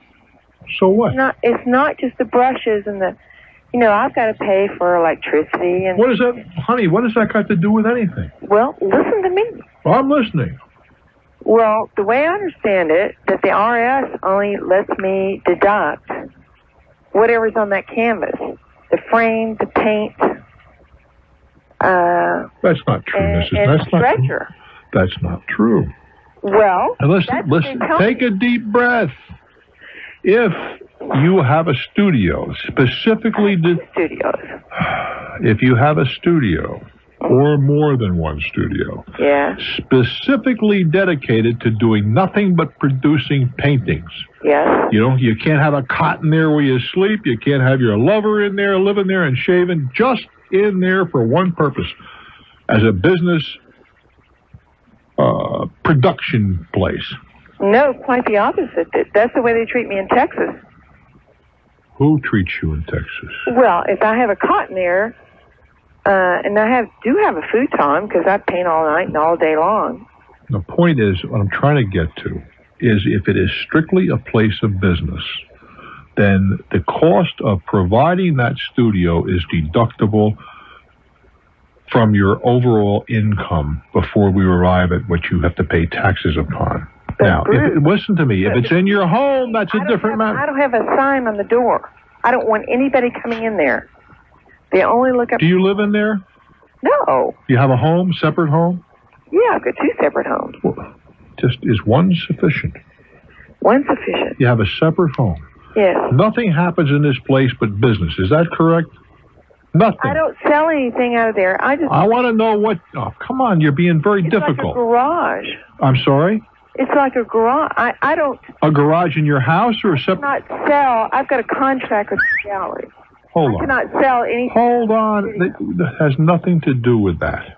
All right. It really doesn't. Okay. Is this a garage in your home? No. It's a separate garage that you rent just for a studio. No, it's a, it. I, oh. the garage was. I was joking with you. It is a historical building in Houston, in the Artist Warehouse District. In Houston. And you rent space in there. Yes. And that's all. Now listen, let's, let's not turn this into rocket science. You rent space. You rent space to to to build or paint. Paint. That's all that goes on in there. Yeah, I just need to get in to another place. I'm sorry. I have no sign front. Signs aren't the issue. I have tours that do come there. Tours are not the issue. Okay. You rent this space to do your job. Is that correct? That's either a yes or a no. Is a a yes, my man. Yes. All right, then that case is deductible. It's a business expense. All right. If you, if you, if you I, I may I make this assumption that you do this for a living. This is not for a hobby. No. Well, I would like to do it for a living, but I make a lot of more money. Doing what? Well, I, I just, you know, I have, I have some money. Doing what's the what is the source of Well, your I have some stocks and bonds and stuff, and I, you know, that my family left me. But this is all you do as for a living personally. Yeah. Act actively, then it's deductible. You have, Exactly. you have a decent. Is it because I make more money collecting That's not that's, family? that is not the issue. The issue is is this is this place used in the pursuit of a livelihood? And if you can demonstrate that that's the case, it's not a hobby. Well, I can't dis- demonstrate it because my other income is bigger than. That has nothing to do with anything, honey. That makes no. artists don't make any money. Do you, did you ever sell a painting? Sell Did you ever sell a? painting? millions, but they sell from five to twelve thousand dollars. How much? How many did you sell in 1993? In nineteen ninety, I, I sell everything I could paint. That isn't what I asked you. How many pictures did you sell in 1993? I sold every uh, all twelve of them. You, that the answer is 12, not all 12. You sold 12. Is that correct? Yes. And how much did you generate in the aggregate for the 12 paintings? Mm, How much money? uh, geez, About twenty thousand dollars. for the 12 paintings. Yeah. That's your gross number. You subtract the cost of the paints, of course, the cost of the frames, all that jazz, and the room or rooms that you rented specifically to paint those paintings, and the net amount is what you pay taxes on. I do wish you well. I'm Bruce Williams. this is TalkNet. Dearborn, Michigan. Hello there. Hi there, Bruce. How you doing? Um, that lady would never stop talking. Holy smokes. What's on your mind, baby? Okay, this is the deal. I bought a new car a year and seven days ago. A year and seven days, right well, to this the is important. It gets better. okay, uh, we I drive a lot. Let's let's state that right now. I drive um, at least forty thousand miles a year, if not more. What are you, salesperson?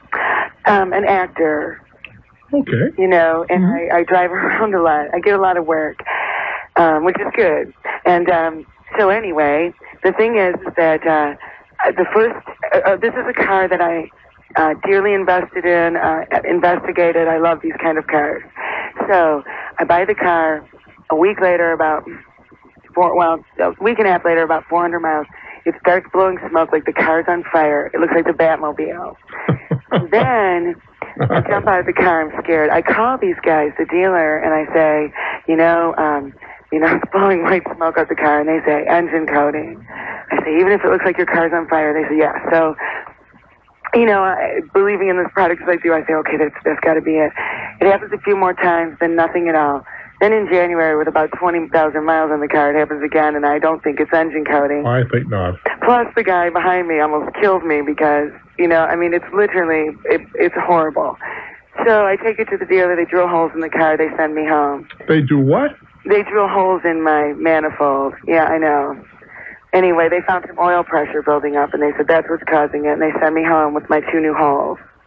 So then, so then, um, it happens again, and I take it back, and then they say it's because I get my oil changed at one of those fast lube places. What has that got to do with anything? Nothing, because then 8,000 other million Toyotas have this problem. I'm sorry. Anyway, so then um, so they changed the oil again. They made me pay for it. Then it, it happens again, and and now they're blaming it on me again. And so What, no, wait a minute. How do they blame? What is it that you could be doing? they said I, because I'm getting my oil changed, and it's it's it's the oil overfill. But it's happened. I mean, it's, that's not you know, it's happened since I bought the car, before the oil was ever changed. It, it, it's just the, the the dealer didn't want to deal with it. So I've been in touch with Toyota since January mm-hmm. to get go to arbitration. So you know now Yes, you can go to the Better Business Bureau arbitration. That's clear. that's what I did. All right. What happened there? Now listen, what they did was they take my claim and then they say, well, we're moving, because I call them for confirmation and everything else, and they say, well, we're moving our files to Washington. We can't give you any information right now. Well, anyway, the car is up to its warranty.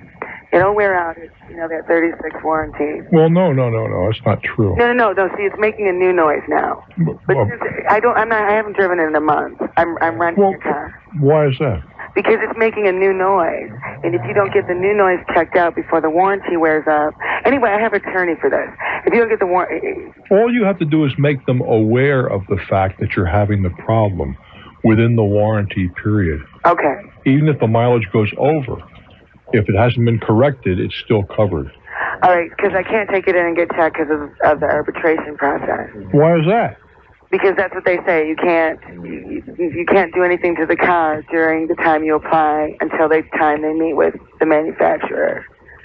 It's in their little book. All right. Have you discussed it? Are you expected to keep the car sitting still for a month till they get You their know, act I'm together? broke, and I'm I have a film production in September, and you need a lot of cash for that. And I had I had money saved, and it's going to the car. So anyway, so I called this lawyer because I'm thinking arbitration has taken 60, 90 days. You know, this is going on too long. And he says, well, yeah, but you did sign up for arbitration, so you have to go through with it. And I said, but their deal is, is if you, as soon as you sign up for this, they have 30 days to take care of your claim and get the process started. Mm-hmm. And every and it's been way over. The car is sitting in a driveway. The Better Business Bureau won't give me any advice on what to do with the car because then they said they'd lose their objectivity. And I see, I'm calling you because you say get a lawyer, and I did. And I don't know that he's right. Do you know what I mean? I don't know. Well, uh, take a deep breath now. Okay. What does the attorney specifically recommend that you do right now? He said go through the arbitration process. Now, does that mean that you can't use the car at all during that period of time? Well, he, no, he said buy an extended warranty. He said go to back and buy an extended warranty. Will they sell you one now? I don't. I'm not allowed to go back to the people who sold it to me. I don't know that. What do you mean you're not allowed to go back to They that? said they would. I would be arrested if I went back. They what? so, Arrested for what? because I wouldn't leave the dealership without trying to get the problem solved. It's not. It's not pretty. And I wasn't yelling. I mean, it. I'm just. You know. What were you doing? I was standing there saying, I, I need to speak to someone. They were going to tow my car off the lot because what I was going to do is get, I, I need my car to survive in my business if I don't have a car and I, I can't understand afford myself. So what I said was, forget it. I'll get it. Forget arbitration. I'll just get this car checked. But I wanted to make sure by Monday. I Take it to take it to another authorized dealer. Okay. You can have it checked. The warranty work can be done at any authorized dealer. And will that affect my arbitration? I don't I don't know that. I don't think that it will. You're taking it for another matter altogether. This other noise that you described. Okay. Just take it to another dealer. Okay. And then I can just continue driving my car. I don't see why not. Okay. Well, thank you. I for just, I mean, I could be dead wrong, but I don't think so. I wish you well, sweetheart. Hang in there. I'm Bruce Williams. this is TalkNet. Let's go now to Lincoln, Nebraska. Hello there. Hello, Bruce. I have a question for you about a cleaning business that I've um, owned and operated for about 10 years now. When we say cleaning, do we mean cleaning offices, dry cleaning, or what? Oh, it's a cleaning service for, I started out residential and uh, then it went, I'm doing uh, more um, commercial now. Okay. And I want to get bigger. Um, I raised a family. I'm single, and I raised my boys doing this. And I'm getting older now, and I don't want to work so hard. I haven't And- found anybody who's getting any younger. That's right. And I I would like to uh, get bigger and let some of these uh, some of my gals work and I not have to work quite so hard. And I'd like to qu- know how to go about this so that it's not only legal Well, what you, what would be illegal? Well, I don't quite know what to do. I mean, about the insurance and uh, what I'd like to do is uh, not go um, with uh, payroll. I would like to sub the work out, but I want to do that where it's uh, legal. You know. Well, what, what, what, what, what- what are you trying to accomplish? Let's start with that. Okay, first of all, I'm trying to accomplish that um, I'm going to get more work. I've got a Yeah, but- contract, But, and I'd what, like. what, but hold. Take a deep breath. Okay. What has that got to do with subbing out? I'm not quite sure I understand. Well, I think um, I know what you're getting to. I'm not oh. sure why. Well, I I would like to not have to go through all this payroll. Tax. Honey, that's part of being business. Mm-hmm. You got to have payrolls and you got to take out the Social Security. It's just part of being there. Yes, I, I realize that, but I Why is that a problem? well, I want I wanted to get away from that and just sub it out to. I have some girls that would like to take over some of my uh, apartment complexes and just sub the work to them. What does that mean, sub the work to them? Well, in other words, they would do the work for so much. In other words, instead of me paying them by the hour, I would just say, "Will you clean uh, these four apartment complexes?" And uh, I will pay you X amount of dollars. Now, that means they got to all go out and get insurance. Mm-hmm. It's going to be very complicated and probably more expensive. You think so? Yes, ma'am. All right. All right. Well, I guess I work my fingers to the bone forever, huh? No, no. Wait a minute now. Let's let's examine that. I want what what uh, payroll. Let's start with that. Mm-hmm. Now, this is a, one of those deals for the most part. Do as I say, not do as I do. All right. The reason I say that I have several businesses that I own All right. that I still take an active interest in the payroll Mm-hmm. because I have little to do with them and I can tell an awful lot about what's going on by who's getting paid what. Right. That's the reason I keep an interest in the payroll. Mm-hmm. However, I'm involved in other businesses. We don't have we do we do we don't do payrolls at all. It goes out to an outside service. It's not expensive. In other words, uh, contracted out to a, an, uh, To another a payroll company. through a payroll company. Absolutely. All you do is call them with the numbers, and then they, the messenger comes by with the checks in the mail, or the checks in an envelope for all your employees. They fill out the 941s. They make the deposits. The whole thing. Oh, wonderful! It's it's on your account number. That's great. Well, you didn't know they had those companies? They're every, they're all over the place. Well, I'm not very big. How many how many employees do you have? Uh, five. That'll probably cost you probably a lot more per employee because it's so small. Mm-hmm. Uh, eh, thirty bucks a week, something like that. Twenty bucks a week. Twenty bucks a pay period. Mm-hmm. You probably pay every two weeks. Mm-hmm. But you, all you do is just call the information in. How many hours? And they already have the number of deductions that these people have. All you do is Millie Jones, forty-seven hours. Boom, they do the whole thing. Wow, that's just great. I had never, I never really thought, it, uh, heard of that. I really hadn't. Well, that's easy. Now, what else? What else do we know how to take off your back? I'm serious. Well, that that was uh, part of the the of it. I just didn't want to have to do that. I wanted, I thought that was awfully complicated. And It's so s- five people. I could do your I could do your five people payroll in ten minutes. well, see, I'm, I didn't want to go through all that. Uh, Wait, wait a minute. No, hold on. Only on a minute. Okay. What is so complicated? You have five people.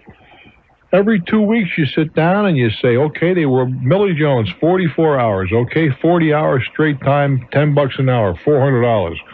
Four hours overtime, uh, four hours, $10, 15 $60. So she had now 460 bucks gross. Mm-hmm. Now, Millie, uh, you take a look. Let me see. Millie is single, Mm-hmm. and you look at the little chart over there. 460 bucks tells you the federal income tax. Right. Multiply it times 7.65. I think that's the number. Put 0765 on the machine. That's your Social Security tax. If you have a local a, federal, a local income tax, boop boop boop down the chart. Five people, 10 to 15 minutes tops every two weeks. Is that a big deal? Well, this is that. That isn't the big deal. I mean, What's the big deal? The big deal is I wanted to get away from that completely and just go with them doing their own. No, you, you keep. But don't you real, uh, uh, sweetheart? You just can't walk away completely and run a business. Mm-hmm. Now, either you want to run it or you don't. But doing a payroll is easy. Very simple. Well, no, I know that part. I just thought it would be What else? tax wise. Oh, come on. You're looking. You're. You're. you're it, it's nonsense. It is. Yes, ma'am. Either you're going to be in business or you don't. If you want to be in business, there are certain things that you have to do. One of them is just keep your customers happy. Well, and with an employee, you fire him. If they don't do a good job. If you've got to contract it out, that uh, it's just it's just not a good idea. Either get in or get out. That's what it comes down to. I do wish you well, sweetheart. My thanks to Mr. Daniel Rudd doing his usual fine job chatting with you guys. I know it's not easy, and nobody ever said it should be. But you try and do what's right, huh? I'm Bruce Williams. Keep in touch.